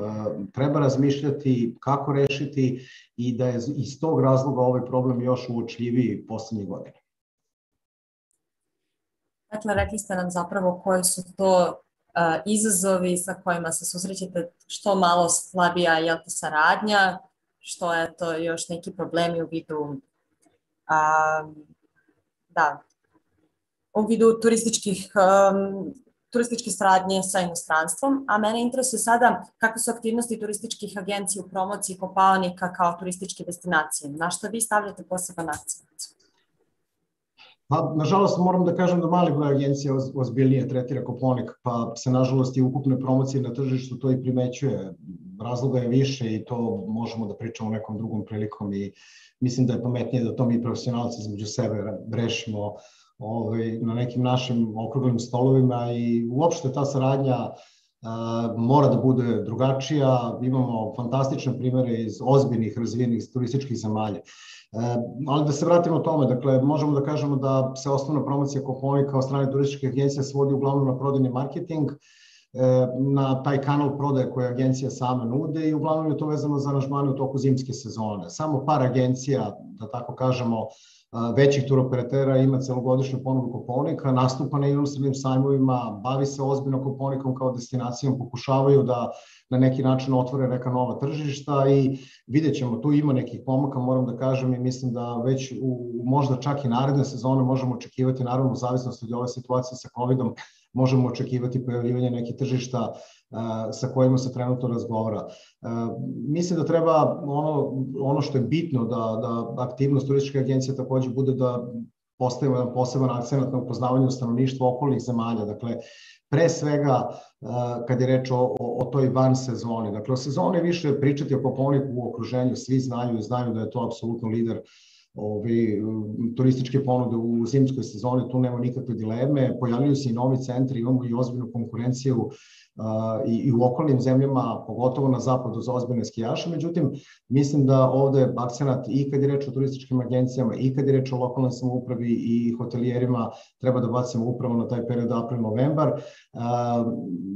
Ono što definitivno možemo da uradimo je da podignemo interesovanje za zimu, to je ono što čini mi se da se upravo i radi, na tom se nekako čini se bolje radi nego na, na ovoj drugoj stvari, a promovisanje letnih sadržaja i programa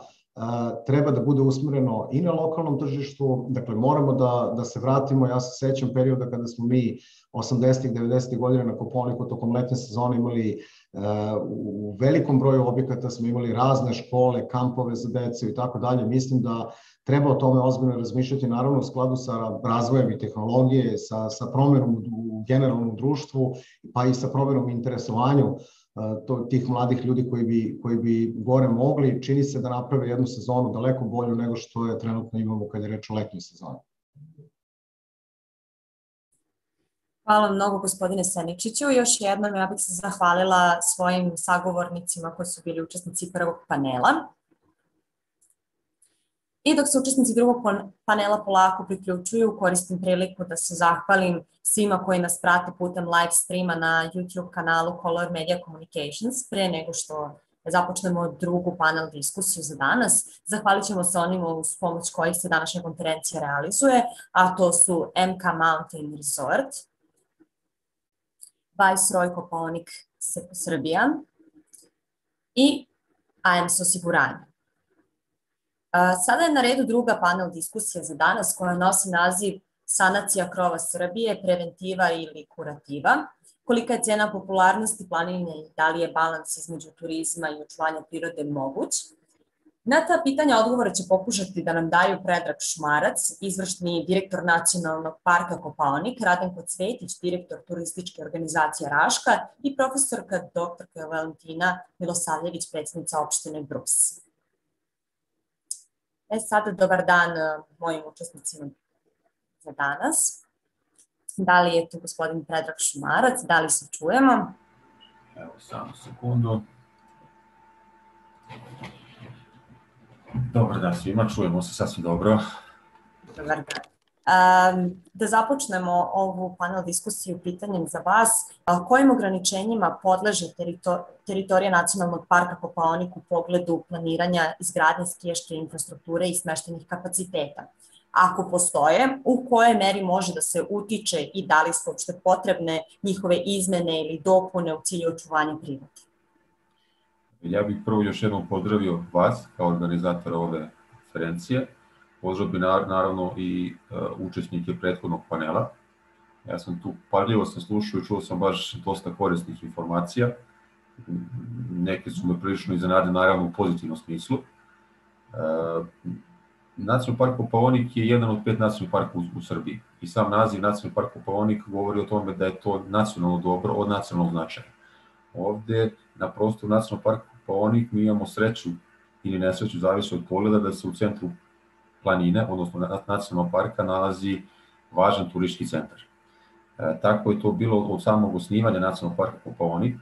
i sada vezano za ovo vaše pitanje da li je to sanacija preventiva ili kurativa, sam naziv vaše, vašeg panela govori da se tu pre svega radi o nekoj trenutno lečenju nekih posledica i nekih negativnih efekta iz prethodnog, a naravno iz, i sadašnjeg perioda. E, što se tiče ograničenja, E, kao što sam rekao na početku, mi smo nacionalni park i svakako postoje odgovarajuće ograničenje, jer ovde u nacionalnom parku osnovni princip koga svi treba da se pridržavamo, ne samo u nacionalnom parku, nego i svi svi akteri na planini počeo od turističkog sektora pa nadalje, a to je princip zaštite prirode. E, princip zaštite prirode treba da bude dominantan, nažalost nije, iz razno raznih faktora i razno raznih nekih nasleđenih e, stvari iz, iz, iz, pre, iz prethodnog perioda, ali e, trudit ćemo se da u nekom narednom periodu, zajedno sa svim akterima na planini, taj princip zaštite prirode bude dominantan. Jer kao što sam rekao, mi smo nacionalni park i turistički smo centar, e, jako dobro poznat i zimski turistički centar, letnji turistički centar još uvijek nismo, to je ono što je još uvijek e, velika rana e, Kopaonika. Nacionalni park se trudi, jer nama je prevashodno interes da ljudi na, na panelu dolaze leti, jer onda mogu da vide sve ono čime nacionalni park raspolaže i sve ono što je nas nekada kandidovalo, a danas nas čuva kao nacionalni park. E, eto, od, od mene toliko za početak, pa ćemo se naravno uključiti kasnije kako bude zahtevalo sam tog razgovora. Hvala. Hvala vam mnogo, nastavit ćemo kasnije sa vama. A, pozivam sada um, predsednika, tačnije direktora turističke organizacije Raška, Radenka Cvetića. Da li je tu? Da li se čujemo? Da, čujemo se. Dobar dan. Dobar dan i za vas. A, moje pitanje za vas je koje aktivnosti turistička organizacija Raška preduzima radi promocije Srebrne planine, to je Kopaonika i na koji način postičete njeno a, očuvanje? Da, da li se vidimo? Vidimo se i čujemo se. Odlično, drago mi je. Znate kako, turistička organizacija opštine Raška jeste i osnovana sa, osnovana sa jednim e, i jedinim ciljem promocije turističke ponude opštine Raška i zaista naš prevashodni cilj jeste promocija Koponika. U prethodnom izlaganju panelista jasno nam je svima da je Koponik već dugo godina unazad promovisana planina i sve ono što je urađeno na Koponiku jasno govori i pokazuje i broj posetilaca i ovo interesovanje i ovaj disbalans možda ili balans koji pokušavamo da postignemo između prirode i, ono, i velikog interesovanja i investitora potencijalnih naravno i posetilaca na Koponiku pokazuje da se Pre svega kad je zimski turizam u pitanju, to smo se svi složili, odnosno period e, zime, odnosno e, korišćenje Kopaonika kao zimskog turističkog centra zaista postigao jedan ozbiljan nivo i realno i iskreno možemo reći, naravno uvek se mogu poboljšati ti rezultati, ali za turističku organizaciju Raške je to relativno mali posao s obzirom da svako radi svoj i to je možda jedan nedostatak što svi mislimo da smo samo sebi dovoljni, pre svega hotelijeri i tako dalje. Međutim, a, i ono što je gospodin Seničić malo pre stavio do znanja, a, ono što jeste zadatak turističke organizacije i bio u nekom prethodnom periodu, a sigurno nas očekuje još ozbiljnije u narednom periodu, jeste promocija, pre svega ponuda, proširenje ponude kada je u pitanju letnja sezona, odnosno period april-novembar i s druge strane je prezentacija kako domaćim, kojima zaista treba posvetiti mnogo više pažnje, a to i pokazala prethodna godina, naravno i na inostranom tržištu, pre svega u zemljama regiona, sa ciljem da jednostavno taj, e, tu sezonalnost smanjimo na najbolju moguću meru, naravno da ne možemo, s obzirom da Koponik je ipak malo reći ću, ne tako blaga, neću reći surova, kako mi imamo običaj da kažemo, planina, da imamo neke periode kad je zaista jako teško organizovati sve na Koponiku s obzirom na vremenske uslove, ali s druge strane ono što su uradili hotelijeri, njihovi spa centri, zatvoreni bazeni, otvoreni bazeni i mnoge druge mogućnosti daju, daju a, ajde da kažemo, vetar u leđa da mi možemo tokom cele godine, odnosno 365 dana, funkcionisati na Koponiku. S druge strane, a, vraćanje nekih aktivnosti kao što su bile različite škole, naravno usklađeno sa ovim, sa vremenom i sa interesovanjem pre svega naše dece, daje opet mogućnost da a, taj period zaista kada možda niste u mogućnosti da uživate u prirodi, uživate negde u a, zatvorenom prostoru uz korišćenje, kažem, tih pratićih usluga, a, jeste, jeste cilj i naše turističke organizacije i naravno svih onih koji pružaju usluge na Koponiku, da taj period, kažem, na pravi način promovišem i naravno što veći broj posetilaca u tom nekom uslovno, da kažemo, a neću reći baš mrtvom periodu, ali periodu smanjene posete na Koponiku podignemo na viši nivo. Hvala vam gospodine Cvetiću. A sada nastavljamo dalje. Da li je tu Valentina Milosavljević, predsednica opštine Brus? Da, tu sam. Čujem Dobar dan, Valentina. Pitala bih vas sada, kako je potražnja za smeštenim kapacitetima sve veća? Da li mislite da je balans između turizma i očuvanja prirode na ovoj planini moguć? Pre svega, dobar dan svima. Da pozdravim sve učesnike prethodnog panela i ovog panela i da se zahvalim svima koji su do sada iznali jednu objektivnu sliku i identifikovali probleme planine Koponik.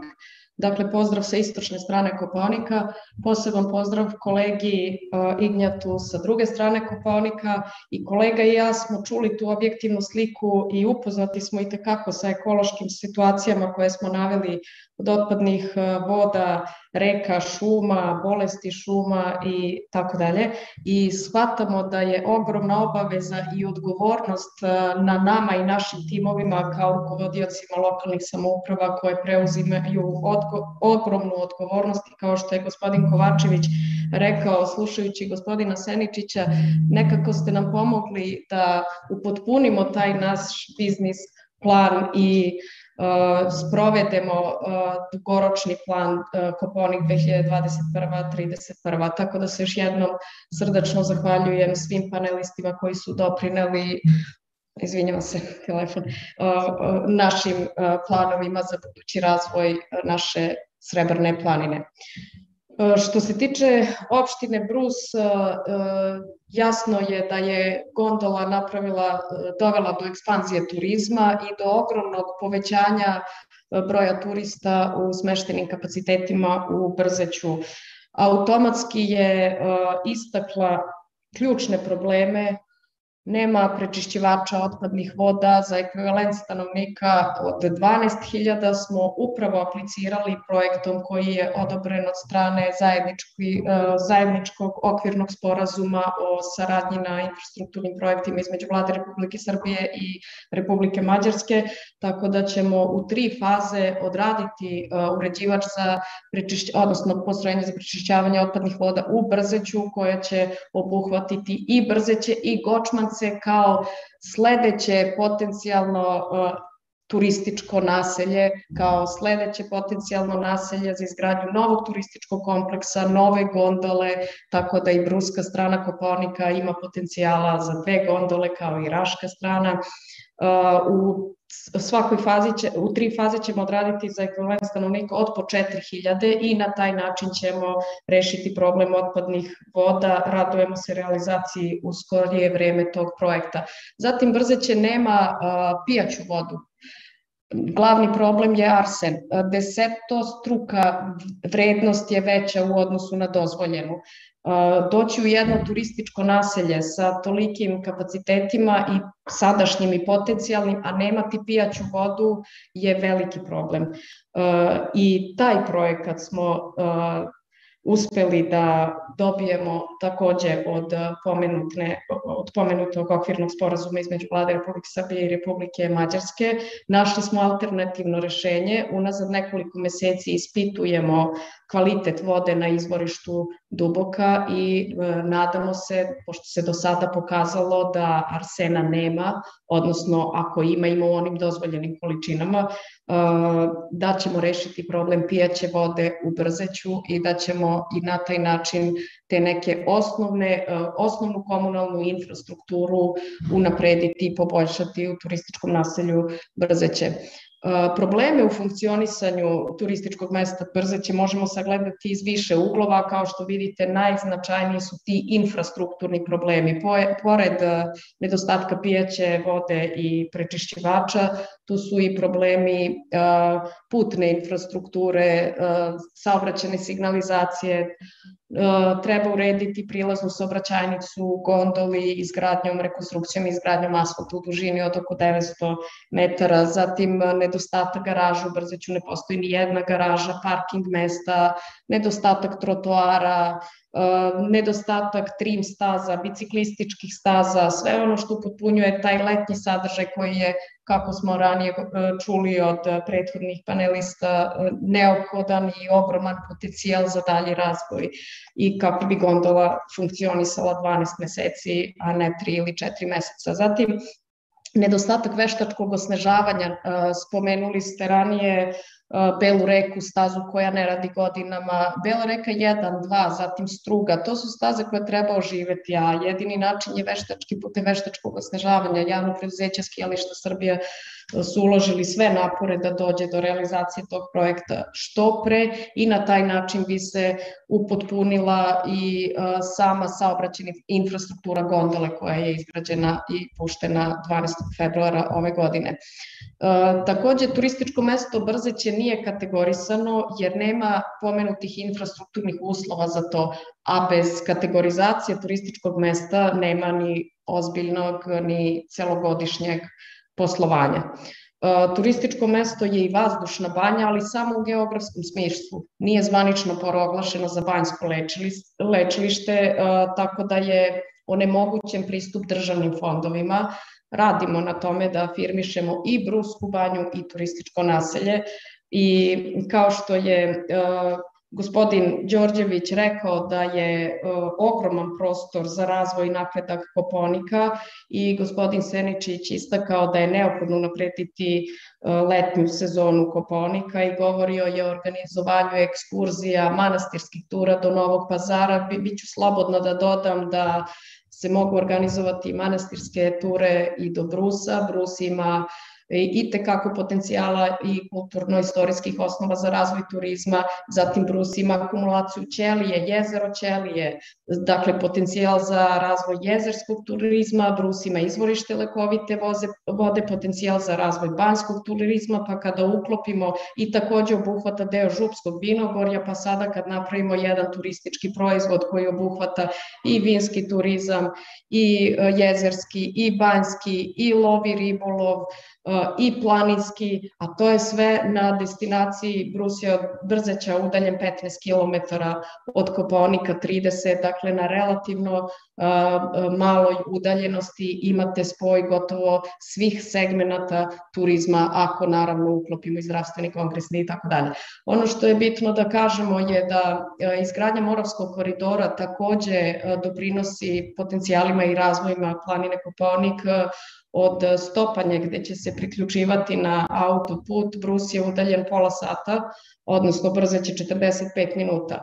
Ukoliko bi se uh, taj put proglasio uh, putom uh, prvog reda B kategorije sa tri trake, dakle ukoliko bi se obezbedila jedna brza saobraćajnica, vi biste od autoputa vozili do gondole maksimalno pola sata, što je značajan napredak i olakšava savremenom turisti, jer savremeni turista traži sve moguće pogodnosti i ne želi ni prepreke u saobraćaju, ni da što lakše stigne, da je ponuda što sadržajnija, što bogatije i tako dalje. Mi ćemo naravno kao lokalna samouprava, pošto je u toku javni uvid u nacrt izmene prostornog plana Republike Srbije, dati predlog da se ta saobraćajnica uvrsti u prostorni plan i da u ovom periodu koji je tema konferencije 21. 31. realizujemo i takav jedan projekat od krucijalne važnosti za sve nas i naravno za turiste iz zemlje, regiona i sveta. Što se tiče bruske strane Koponika, ono što bih voljela da istaknem je da je najveći, Kopo, najveći deo Koponika se zapravo nalazi na teritoriji opštine Raška. Međutim, 70% skijaških staza se nalazi na teritoriji opštine Brus, a 90% smeštenih kapaciteta se nalazi na teritoriji opštine Raška. Što nam govori sledeće? Naš stav je jasan. Preventiva je bolja od kurative. Naša je šansa da pišemo istoriju i da ne napravimo nekakvu grešku, da planski gradimo, da gradimo u skladu sa postulatima koje je propisao Zavod za zaštitu životne sredine i da nastojimo da da se borimo za održivi razvoj, odnosno za balans između iz gradnje kapaciteta, komercijalnih kapaciteta i očuvanja prirode, da ne ugrozimo te druge resurse koje imamo, jer na bruskoj strani Koponika tek sada investitori imaju želju da grade, odnosno tek su sada stvoreni uslovi da grade, do sada nije bilo tih rešenih infrastrukturnih kao, e, problema, mi smo ih naravno istakli kao prvi prioritet kako bismo obogatili i budžet i postavili svoje lokalne financije na neke zdrave osnove. Nama je u cilju da se počne sa gradnjom, jer ako vam iznesem podatak da je bruska strana Koponika uh, skoro u potpunosti rasprodata 2005. godine, a nije izgrađeno gotovo ništa, onda vam je jasan period koliko je to ledina i koliko su to čari prirode. Mi imamo, nemamo komercijalu, ali imamo našu prirodu koju ne smemo da narušimo. I svesni smo te odgovornosti koja je sada na nama da ostavimo pečat, da to bude nešto da učimo, da primenimo uporedna iskustva od Raške, da vidimo šta je sa rudnicom, da li hoćemo rudnicu na Jarmu, Srebrcu i Rendari, Ili ćemo da se trudimo da ne dođe kasnije do kurative, do kolapsa, do e, novih vodovoda, novih prečišćivača, garaža, nego da pokušamo da ispoštujemo te ekvivalente, da u redu je povećati smeštene kapacitete na bruskoj strani za 600. Može, zato što imamo vodovod za 3000, imamo prečišćiva za 3000, ali ako pređemo 3000, onda moramo da razmišljamo o novom vodovodu, novom prečišćivaču. Počeće izgradnja nove trafostanice 35 kroz 10 kV, što je bila ogromna prepreka investitorima da apliciraju za građevinsku dozvolu kod ministarstva i tako dalje. E, hoću da kažem da u poslednjih sedam meseci mnogo radimo na, od, na otklanjanju uh,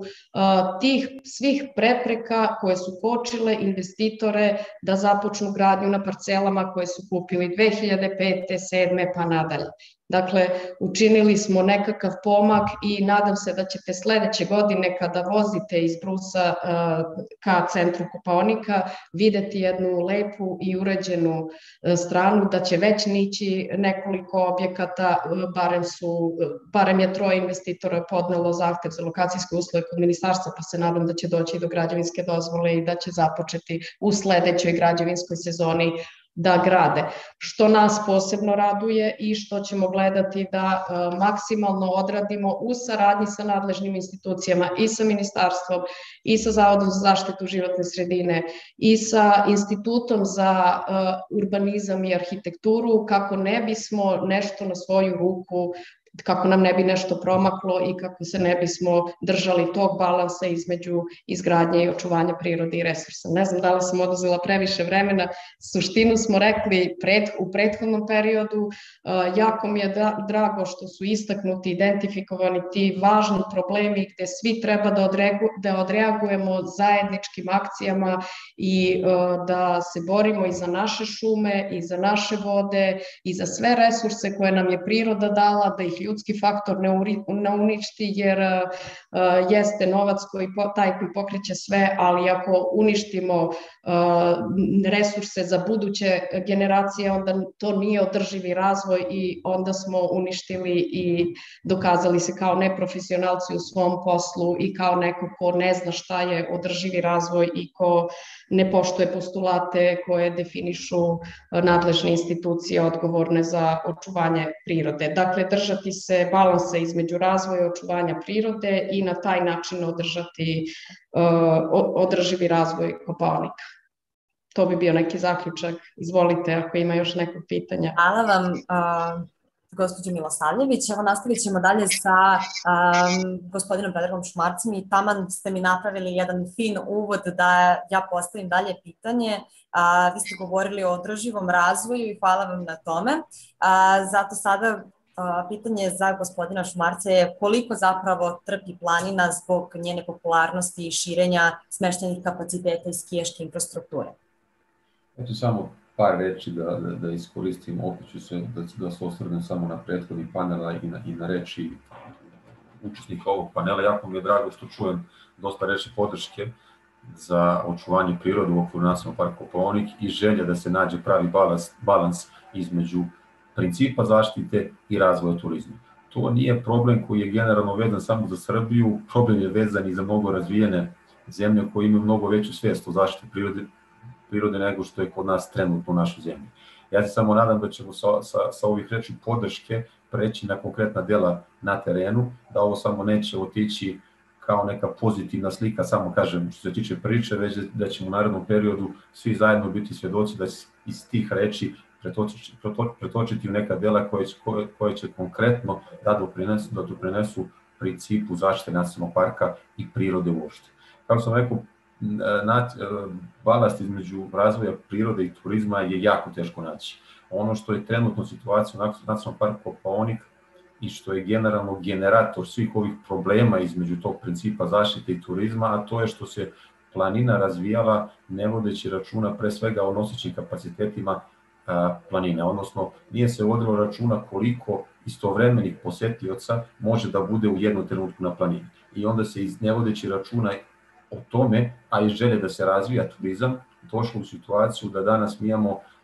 noseći, imamo smeštene kapacitete na planini koji su sasvim zadovoljavajući i to je mislim da je gospodin Senječić iz jutra i potvrdio da su smešteni kapaciteti sasvim adekvatni sasvim adekvatni prostoru i da tu svako može da nađe nešto za sebe. Ono što je problem, što komunalna infrastruktura, e, odnosno tempo razvoja komunalne infrastrukture nije pratio tempo razvoja smeštenih kapaciteta. Tako da mi smo danas u situaciji, naročito u zimskim, turističkim, zimskim turističkim mesecima, kada je broj posjetilaca na planini najveći, mi jako često imamo izlivanje te iste kanalizacione mreže i sve one negativne efekte koji e, na neki način snižavaju utisak koji posetilac kada dođe u ovaj turistički centar i nacionalni park, u tom turističkom centru i nacionalnom parku ponese. E, vratit ću se samo još na par stvari koji je e, gospodin Radoš Đorđević ispred Granda, Grand Hotela istakao. Mi imamo ovde jako dobru saradnju sa svim hotelijerima, u stvari imamo jako dobru saradnju sa svim hotelijerima koji sa nama žele da sarađuju. Mi smo otvoreni za sve. Naš cilj je da pružimo osnovnu E, strukturu, odnosno osnov za razvoj e, usluga koje će svi ostali hotelijeri znači, znati da iskoriste i da svojim posjetiocima predstave. S tim u vezi mi smo zadnjih nekoliko godina jako intenzivno radili pre svega na razvoju te i takve turističke infrastrukture i to se pre svega ogleda u izgradnji i obeležavanju pešačkih staza, izgradnji i obeležavanju izletišta i e, prostora gde turisti mogu da borave u prirode. Kao što sam rekao, cilj nacionalnog parka je da tu prirodu i očuvanu prirodu predstavimo posetiocu da bi se ta svest o zaštiti prirode širila dalje. E, problem što se tiče pešačkih tura, Nacionalni park Koponik ima svoj program rada i u toku jedne nedelje mi organizujemo od utorka do subote svaki dan po jednu pešačku turu. Znači, pešačkih tura ima, vodiča ima, zainteresovanost ljudi za takve ture nije generalno velika, ali iz godine u godinu se uočava napredak, jer mi kažem svake godine broj ljudi koji nas posećuju evidentiramo čisto zbog utvrđivanja trenda i vidimo da su ljudi prilično zadovoljni onim što imamo da im ponudimo i onim što naši vodiči imaju da im ispričaju o toj i takvoj prirodi nacionalnog parka Koponik. Znači, vodiči postoje, uslovi za neku dobru saradnju postoje, i naša dobra volja je reka, ono što smo istakli kada smo pričali za svim hotelijerima, kažem, naš raspored pešačkih tura je utorak, subota, naravno ukoliko se desi potreba da se organizuju neke pešačke ture i ponedeljkom i nedeljom, mi smo tu uvek na raspolagu, naravno ne na nekoj redovnoj bazi, ali tu smo da uskočimo kada treba. Što se tiče čiste vode i problema oko samokolske reke i zagađenja, to je upravo razlog onog što sam pričao na početku, a to je nepostojanje te E, neadekvatno, postojanje neadekvatne kanalizacione mreže i nepostojanje prečištača tih otpadnih voda, tako da ta sva otpadna voda završi u Samokovskoj reci i mi imamo situaciju da ta, taj kvalitet taj kvalitet vode po svojoj hemijskoj strukturi umesto da bude drugi ili treći ste, drugi treće kategorije, on je peti, šesti ili sedmi stepen, tako da to, toku tih zimskih meseci sad taj živi svet upravo zbog te nagumlane hemije i organskog i neorganskog porekla jednostavno ne može da, da ostane i mi generalno u toku zimskih meseci, bukvalno, malo je to e, možda ružno reći, sa stanovišta nekog upravljača imamo bukvalno mrtvu reku. E, jako mi je drago što smo, sam čuo malo pro gospodina Ignjata Rakitića, predsednika i moje opštine naravno, da e, opština Raška ima jako velike razvojne planove u pogledu e, razvijanje te komunalne infrastrukture. Ja se nadam da ćemo u narodnom periodu taj neki problem neodgovarajuće kanalizacione mreže konačno sanirati, konačno moći da, moći da kažemo da se na vrhu planine nalazi jedan turistički centar koji makar, makar u pogledu otpadnih voda više ne ugrožava prirodu nacionalnog parka Kopaonik. E, osvrnut ću još i na, na, na gospodina Kovačevića ispred uh,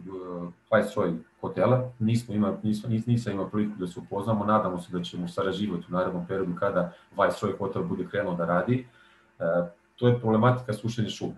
Problematika sušenja šuma u Nacionalnom parku koja je evidentirana 2012. godine i od te 2012. godine do otprilike neke 2019. mi smo imali neki uzlazni trend širenja površina e, zahvaćenih sušenjem šuma. Uzročnik sušenja šuma je pre svega su klimatske promene, jedan od njih, Drugi e, razlog sušanja šuma, pre svega u ovom delu gde je gospodin Kovačević to i primetio, to je oko e, ski staza duboka i u, turističkom centru, pre svega zato što su te staze, ne su tih e, ski staza nekada je bila kompleksi šuma. Da bi se staze izgradila, neophodno je bilo iskrčiti jedan pojas širine 20-30 metara u, u zahtevanoj dužini. Kada se u šumski sklop uđe sa takvim merama, neminovno je da ivišna stabla koje se, koje se nalaze pored same staze budu e, pod e, suviše negativnim uticajem spoljašnjih faktora. I ona kao takva se generalno suše, i u, u najvećem, najvećoj meri se izvaljuju i padaju preko tih staza. To generalno nije problem e, neadekvatnog e, gazdovanja ili mera koje nacionalni park primenjuje, već upravo e, želja da se infrastruktura, skijaška infrastruktura u nekom narednom periodu unapredi. I e, to je nešto što će se dešavati u nekom narednom periodu. E, imali smo još, šta, šta sam još nešto želeo da kažem, a da, pohvalio bih i predsednik, predsednicu opštine Brus, eh, vidim da se jako ozbiljno radi na razvoju tih turističkih kapaciteta i sa te strane Nacionalnog parka Kopaonik. Nadam se da će uvažiti sve one negativna iskustva koja, koje je turistički centar sa ove raš, raš, raš, strane imao i da će sve te negativne stvari koje su se kroz deceniju postojanja Nacionalnog parka Kopaonik i kroz decenija rada turističkog sektora ovde su se nagumali jednostavno nećemo doći u situaciju da se takve greške ponavljaju u nekom narednom periodu. I još jednom samo na kraju, opet ću se vratiti na početak, bala, e, neka ravnoteža između zaštite prirode i turizma je, je vrlo je teško utvrditi. Naravno, to nije razlog da svi, da svi od te priče odustanemo, već da svi zajedno radimo u smeru daljeg razvoja turizma, ali razvoja turizma koji će pre svega uvažavati princip zaštite prirode i princip da je ovo u stvari nacionalni park i da tu postoje odgovarajuće ograničenja, ograničenja koje trebaju da se poštuju i ograničenja koje neće, neće u nekom negativnom smislu kočiti dalje razvoj planine u, u, u delu razvoja turizma, već samo koji treba ispoštovati da bi ta planina takva kakva jeste i ta priroda koju nam je Bog podario, koju, mi, koju, se mi, koju se mi trudimo da očuvamo, možemo da prenesemo i za naredne generacije i da im kažemo ovo je nacionalni park koji smo mi gazdovali, koji smo mi upravljali, koji u sebi ima turistički centar, koji poštuje te principe i iz čega bi svi na kraju trebali da izvučemo e, benefite i neke pozitivne stvari, ne samo za, za našu prirodu, već za naše društvo u celini. Toliko, toliko za sada, pa ako bude... Hvala vam, gospodine Šumarac, vratit ćemo se nešto kasnije za još koje pitanje da, da, da nekako zaključimo ovu priču. A, ja bih sada pozvala um, direktora turističke organizacije Raška Predraga Cvetića. Da li ste tu? Vidimo vas. A, uključite samo mikrofon, molim vas. A, Radenko, e, sada, a predlog je bio pre mene. Da, ja sam rekla, aha, izvinjavam se. Opušten, opušten. A, još jedna stvar, dakle, eto, pričali smo do sada o održivom razvoju, o značaju prirode, ali ujedno govorimo i o najpopularnijoj planini kod nas. Pa eto, šta nam govore brojke o posjećenosti ove turističke organizacije? Napravite nam poređenje sa brojkama od pre 10 godina i kako su vaše predviđanja za narednih 10 godina? Pa znate kako, brojke naravno uvek govore sve, matematika je majka svih nauka i jednostavno Koponik je imao jednu uzlaznu putanju od dana osnivanja, onda je nastupio jedan period zaista velikog zatišja, odnosno, a, ajde uslovno ću reći, propadanja Kopaonika, s obzirom da su tada i veliko javno preduzeće kao što je bio Genex jednostavno bio u nekim problemima, a međutim dolaskom, odnosno osnivanjem skijališta na Kopaoniku i investicijama pre svega vlada Republike Srbije, skijališta Srbije, a,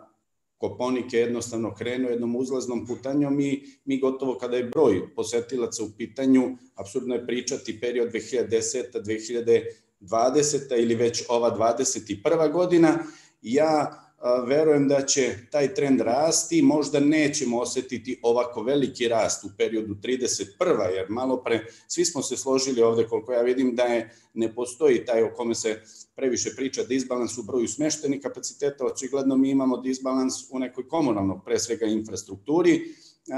i ja se nadam kažem da ćemo u ovom periodu, a i najave su predsednika opština kao relevantnih faktora i na jednoj i na drugoj strani da će ti problemi pre svega komunalne infrastrukture, vodosnabdevanja otpadnih voda biti prevaziđeni, a naravno samim tim ćemo uspeti da zaštitimo i nacionalni park koji jeste obeležje, koji jeste zaista nešto što, što je praktično i nosilac razvoja turizma kao, kao takva destinacija, a ne samo ovo što, što čini skijalište i što čine hotelijeri, smešteni kapaciteti i druge vrste usluga. A, ogromen je zaista porast broja posetilaca, a naravno a to je uzrokovano i povećanje broja smeštenih kapaciteta na samom Kopaoniku, s obzirom da vikend nasilje te 2010. godine je bilo jako malo posvećeno i sa malim brojem pre svega smeštenih kapaciteta.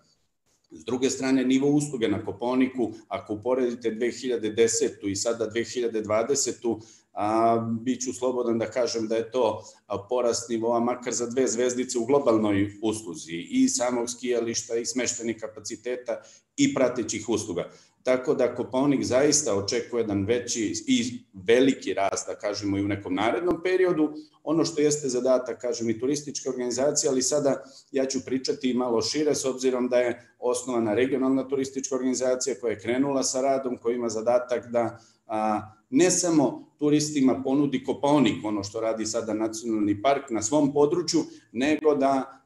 ponudi i sve ono što nudi podnožje Kopaonika i okolina i mislim da će to sigurno a, doprineti da ovaj problem letnjeg turizma prevaziđemo zajednički. Mi kolege a, koji smo članovi regije turističke regije Kopaonik, naravno uz pomoći turističke organizacije Srbije, resornog ministarstva i svih relevantnih faktora, a ključni, ključni naš partner sigurno jesu pre svega hotelijeri, ljudi koji su a, najviše, odnosno zajedno sa nama zainteresovani da Kopaonik bude pun tokom svih 365 dana, odnosno pun u, na, na dosta većem nivou nego što je sada i a, to će doprineti a,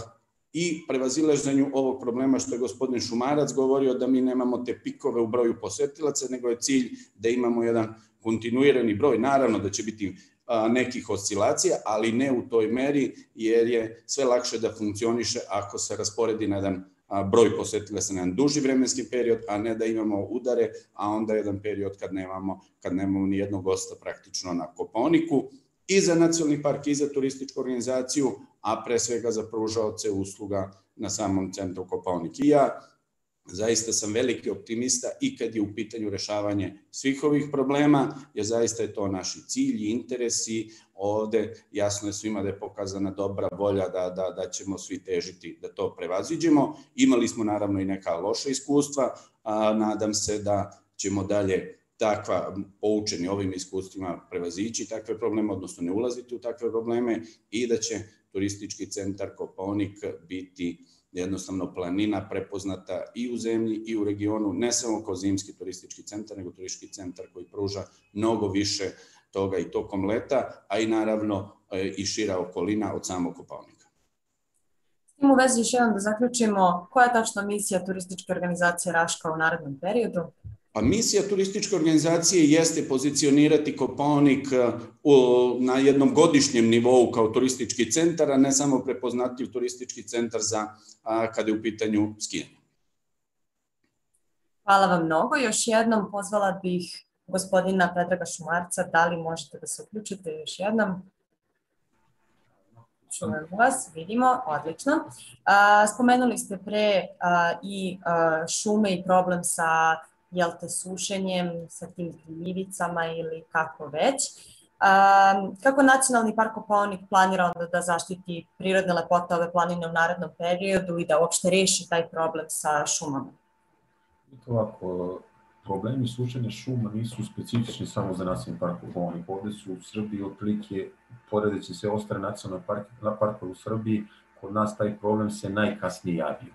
Ovaj, ta problematika sušenja šuma je zastupljena ne samo u šetinarskim šumama koje dominiraju kod nas, već je zastupljena i u lišćarskim šumama i nije, nije strogo definisana ili ograničena teritorijom Republike Srbije, već je taj problem definisan i u svim ostalim zemljama Evrope, a kao glavni uzročnik tog problema se navode klimatske promene, odnosno pojavljivanje tih nekih klimatskih ekstrema i nekih vremenskih prilika koje ne odgovaraju teritoriji koji se posmatraju. E sad, način na koji će nacionalni park probati da reši ove probleme su sledeći. Mi smo u, pre, e, u prethodnom periodu, prethodne i ove godine, smo sklopili jednu saradnju i intenzivirali saradnju sa Šumarskim fakultetom u Beogradu i sa njihovim stručnim, sa njihovim stručnim službama, pre svega u identifikaciji tog osnovnog problema koji uzrokuje slušanje šume. Mi trenutno još uvek, ne samo mi kao upravljači, već i kao i sva stručna javnost koja se bavi problematikom gazdovanja i upravljanja šuma u Republici Srbiji, još uvek nagađamo šta je problem, onaj glavni, glavni problem sušenja šuma. Mi sve te posledice sušenja znamo, to je prenamnoženje pre svega e, podhornjaka, odnosno insekata, pa onda nakon, onda nakon toga slede gljive truležnice i kao rezultat toga mi imamo odgovarajuće komplekse šetinarskih šuma gde u, u, u toj masi zelenila uočavamo odgovarajuće krugove e, žute krugove koji ukazuju na taj proces sušanja. Ono što mi trenutno u ovom trenutku možemo da radimo, a to je da te sekundarne vektore sušanja šuma, a to su pre svega podhornjaci, stavljamo pod kontrolu i to jedino, jedini način na koji sad sada možemo da radimo, a to je da se ta ta žarišta sušenja jednostavno u nekom što kraćem vremenskom periodu poseku. To možda malo deluje grubo, ali mi sečenjem u tim delovima u kojima se javlja sušenje sprečavamo taj sekundarni vektor širenja, a to su insekti koji bi, ukoliko ne bi došlo do takvog saniranja žarišta, taj, e, tu zarazu preneli na ostale komplekse sušenja šuma. Ono što je jako bitno je da nakon tog, nakon tog i takvih seča koji su skoncentrisane na manje komplekse šuma, na manje koncentrične krugove, recimo tako, e, odmah nakon seče sledi i pošumljavanje, što prirodno i što veštačko. Dobra je stvar da se podmladak u takvim, u, tak, u takvim delovima šume javlja jako dobro i jako se dobro razvija. Tako da to govori upravo po ovo naše priče da je taj vid e, saniranja te, tih su, e, tog sušanja sečom možda radikalan, ali za sada daje rezultati. Naravno, sve te mere koje mi preduzimamo, ne preduzimamo ih na svoju ruku, za sve to imamo saglasnosti i od našeg resornog ministarstva, i od ministarstva e, poljoprivrede, šumarstva i vodoprivrede, odnosno uprave za šume i normalno Zavod za zaštitu priroda kao relevantna institucija koja se bavi e, očuvanjem, odnosno koja brani princip zaštite prirode od svih investitora i svih onih po znacima navoda negativnih faktora koji bi želeli da na, na taj princip nekako unizi. Dalje, dalje što, što će nacionalni park u nekom narednom periodu još uvek raditi, pored ovih, kao što sam rekao, ovih mera direktnog saniranja,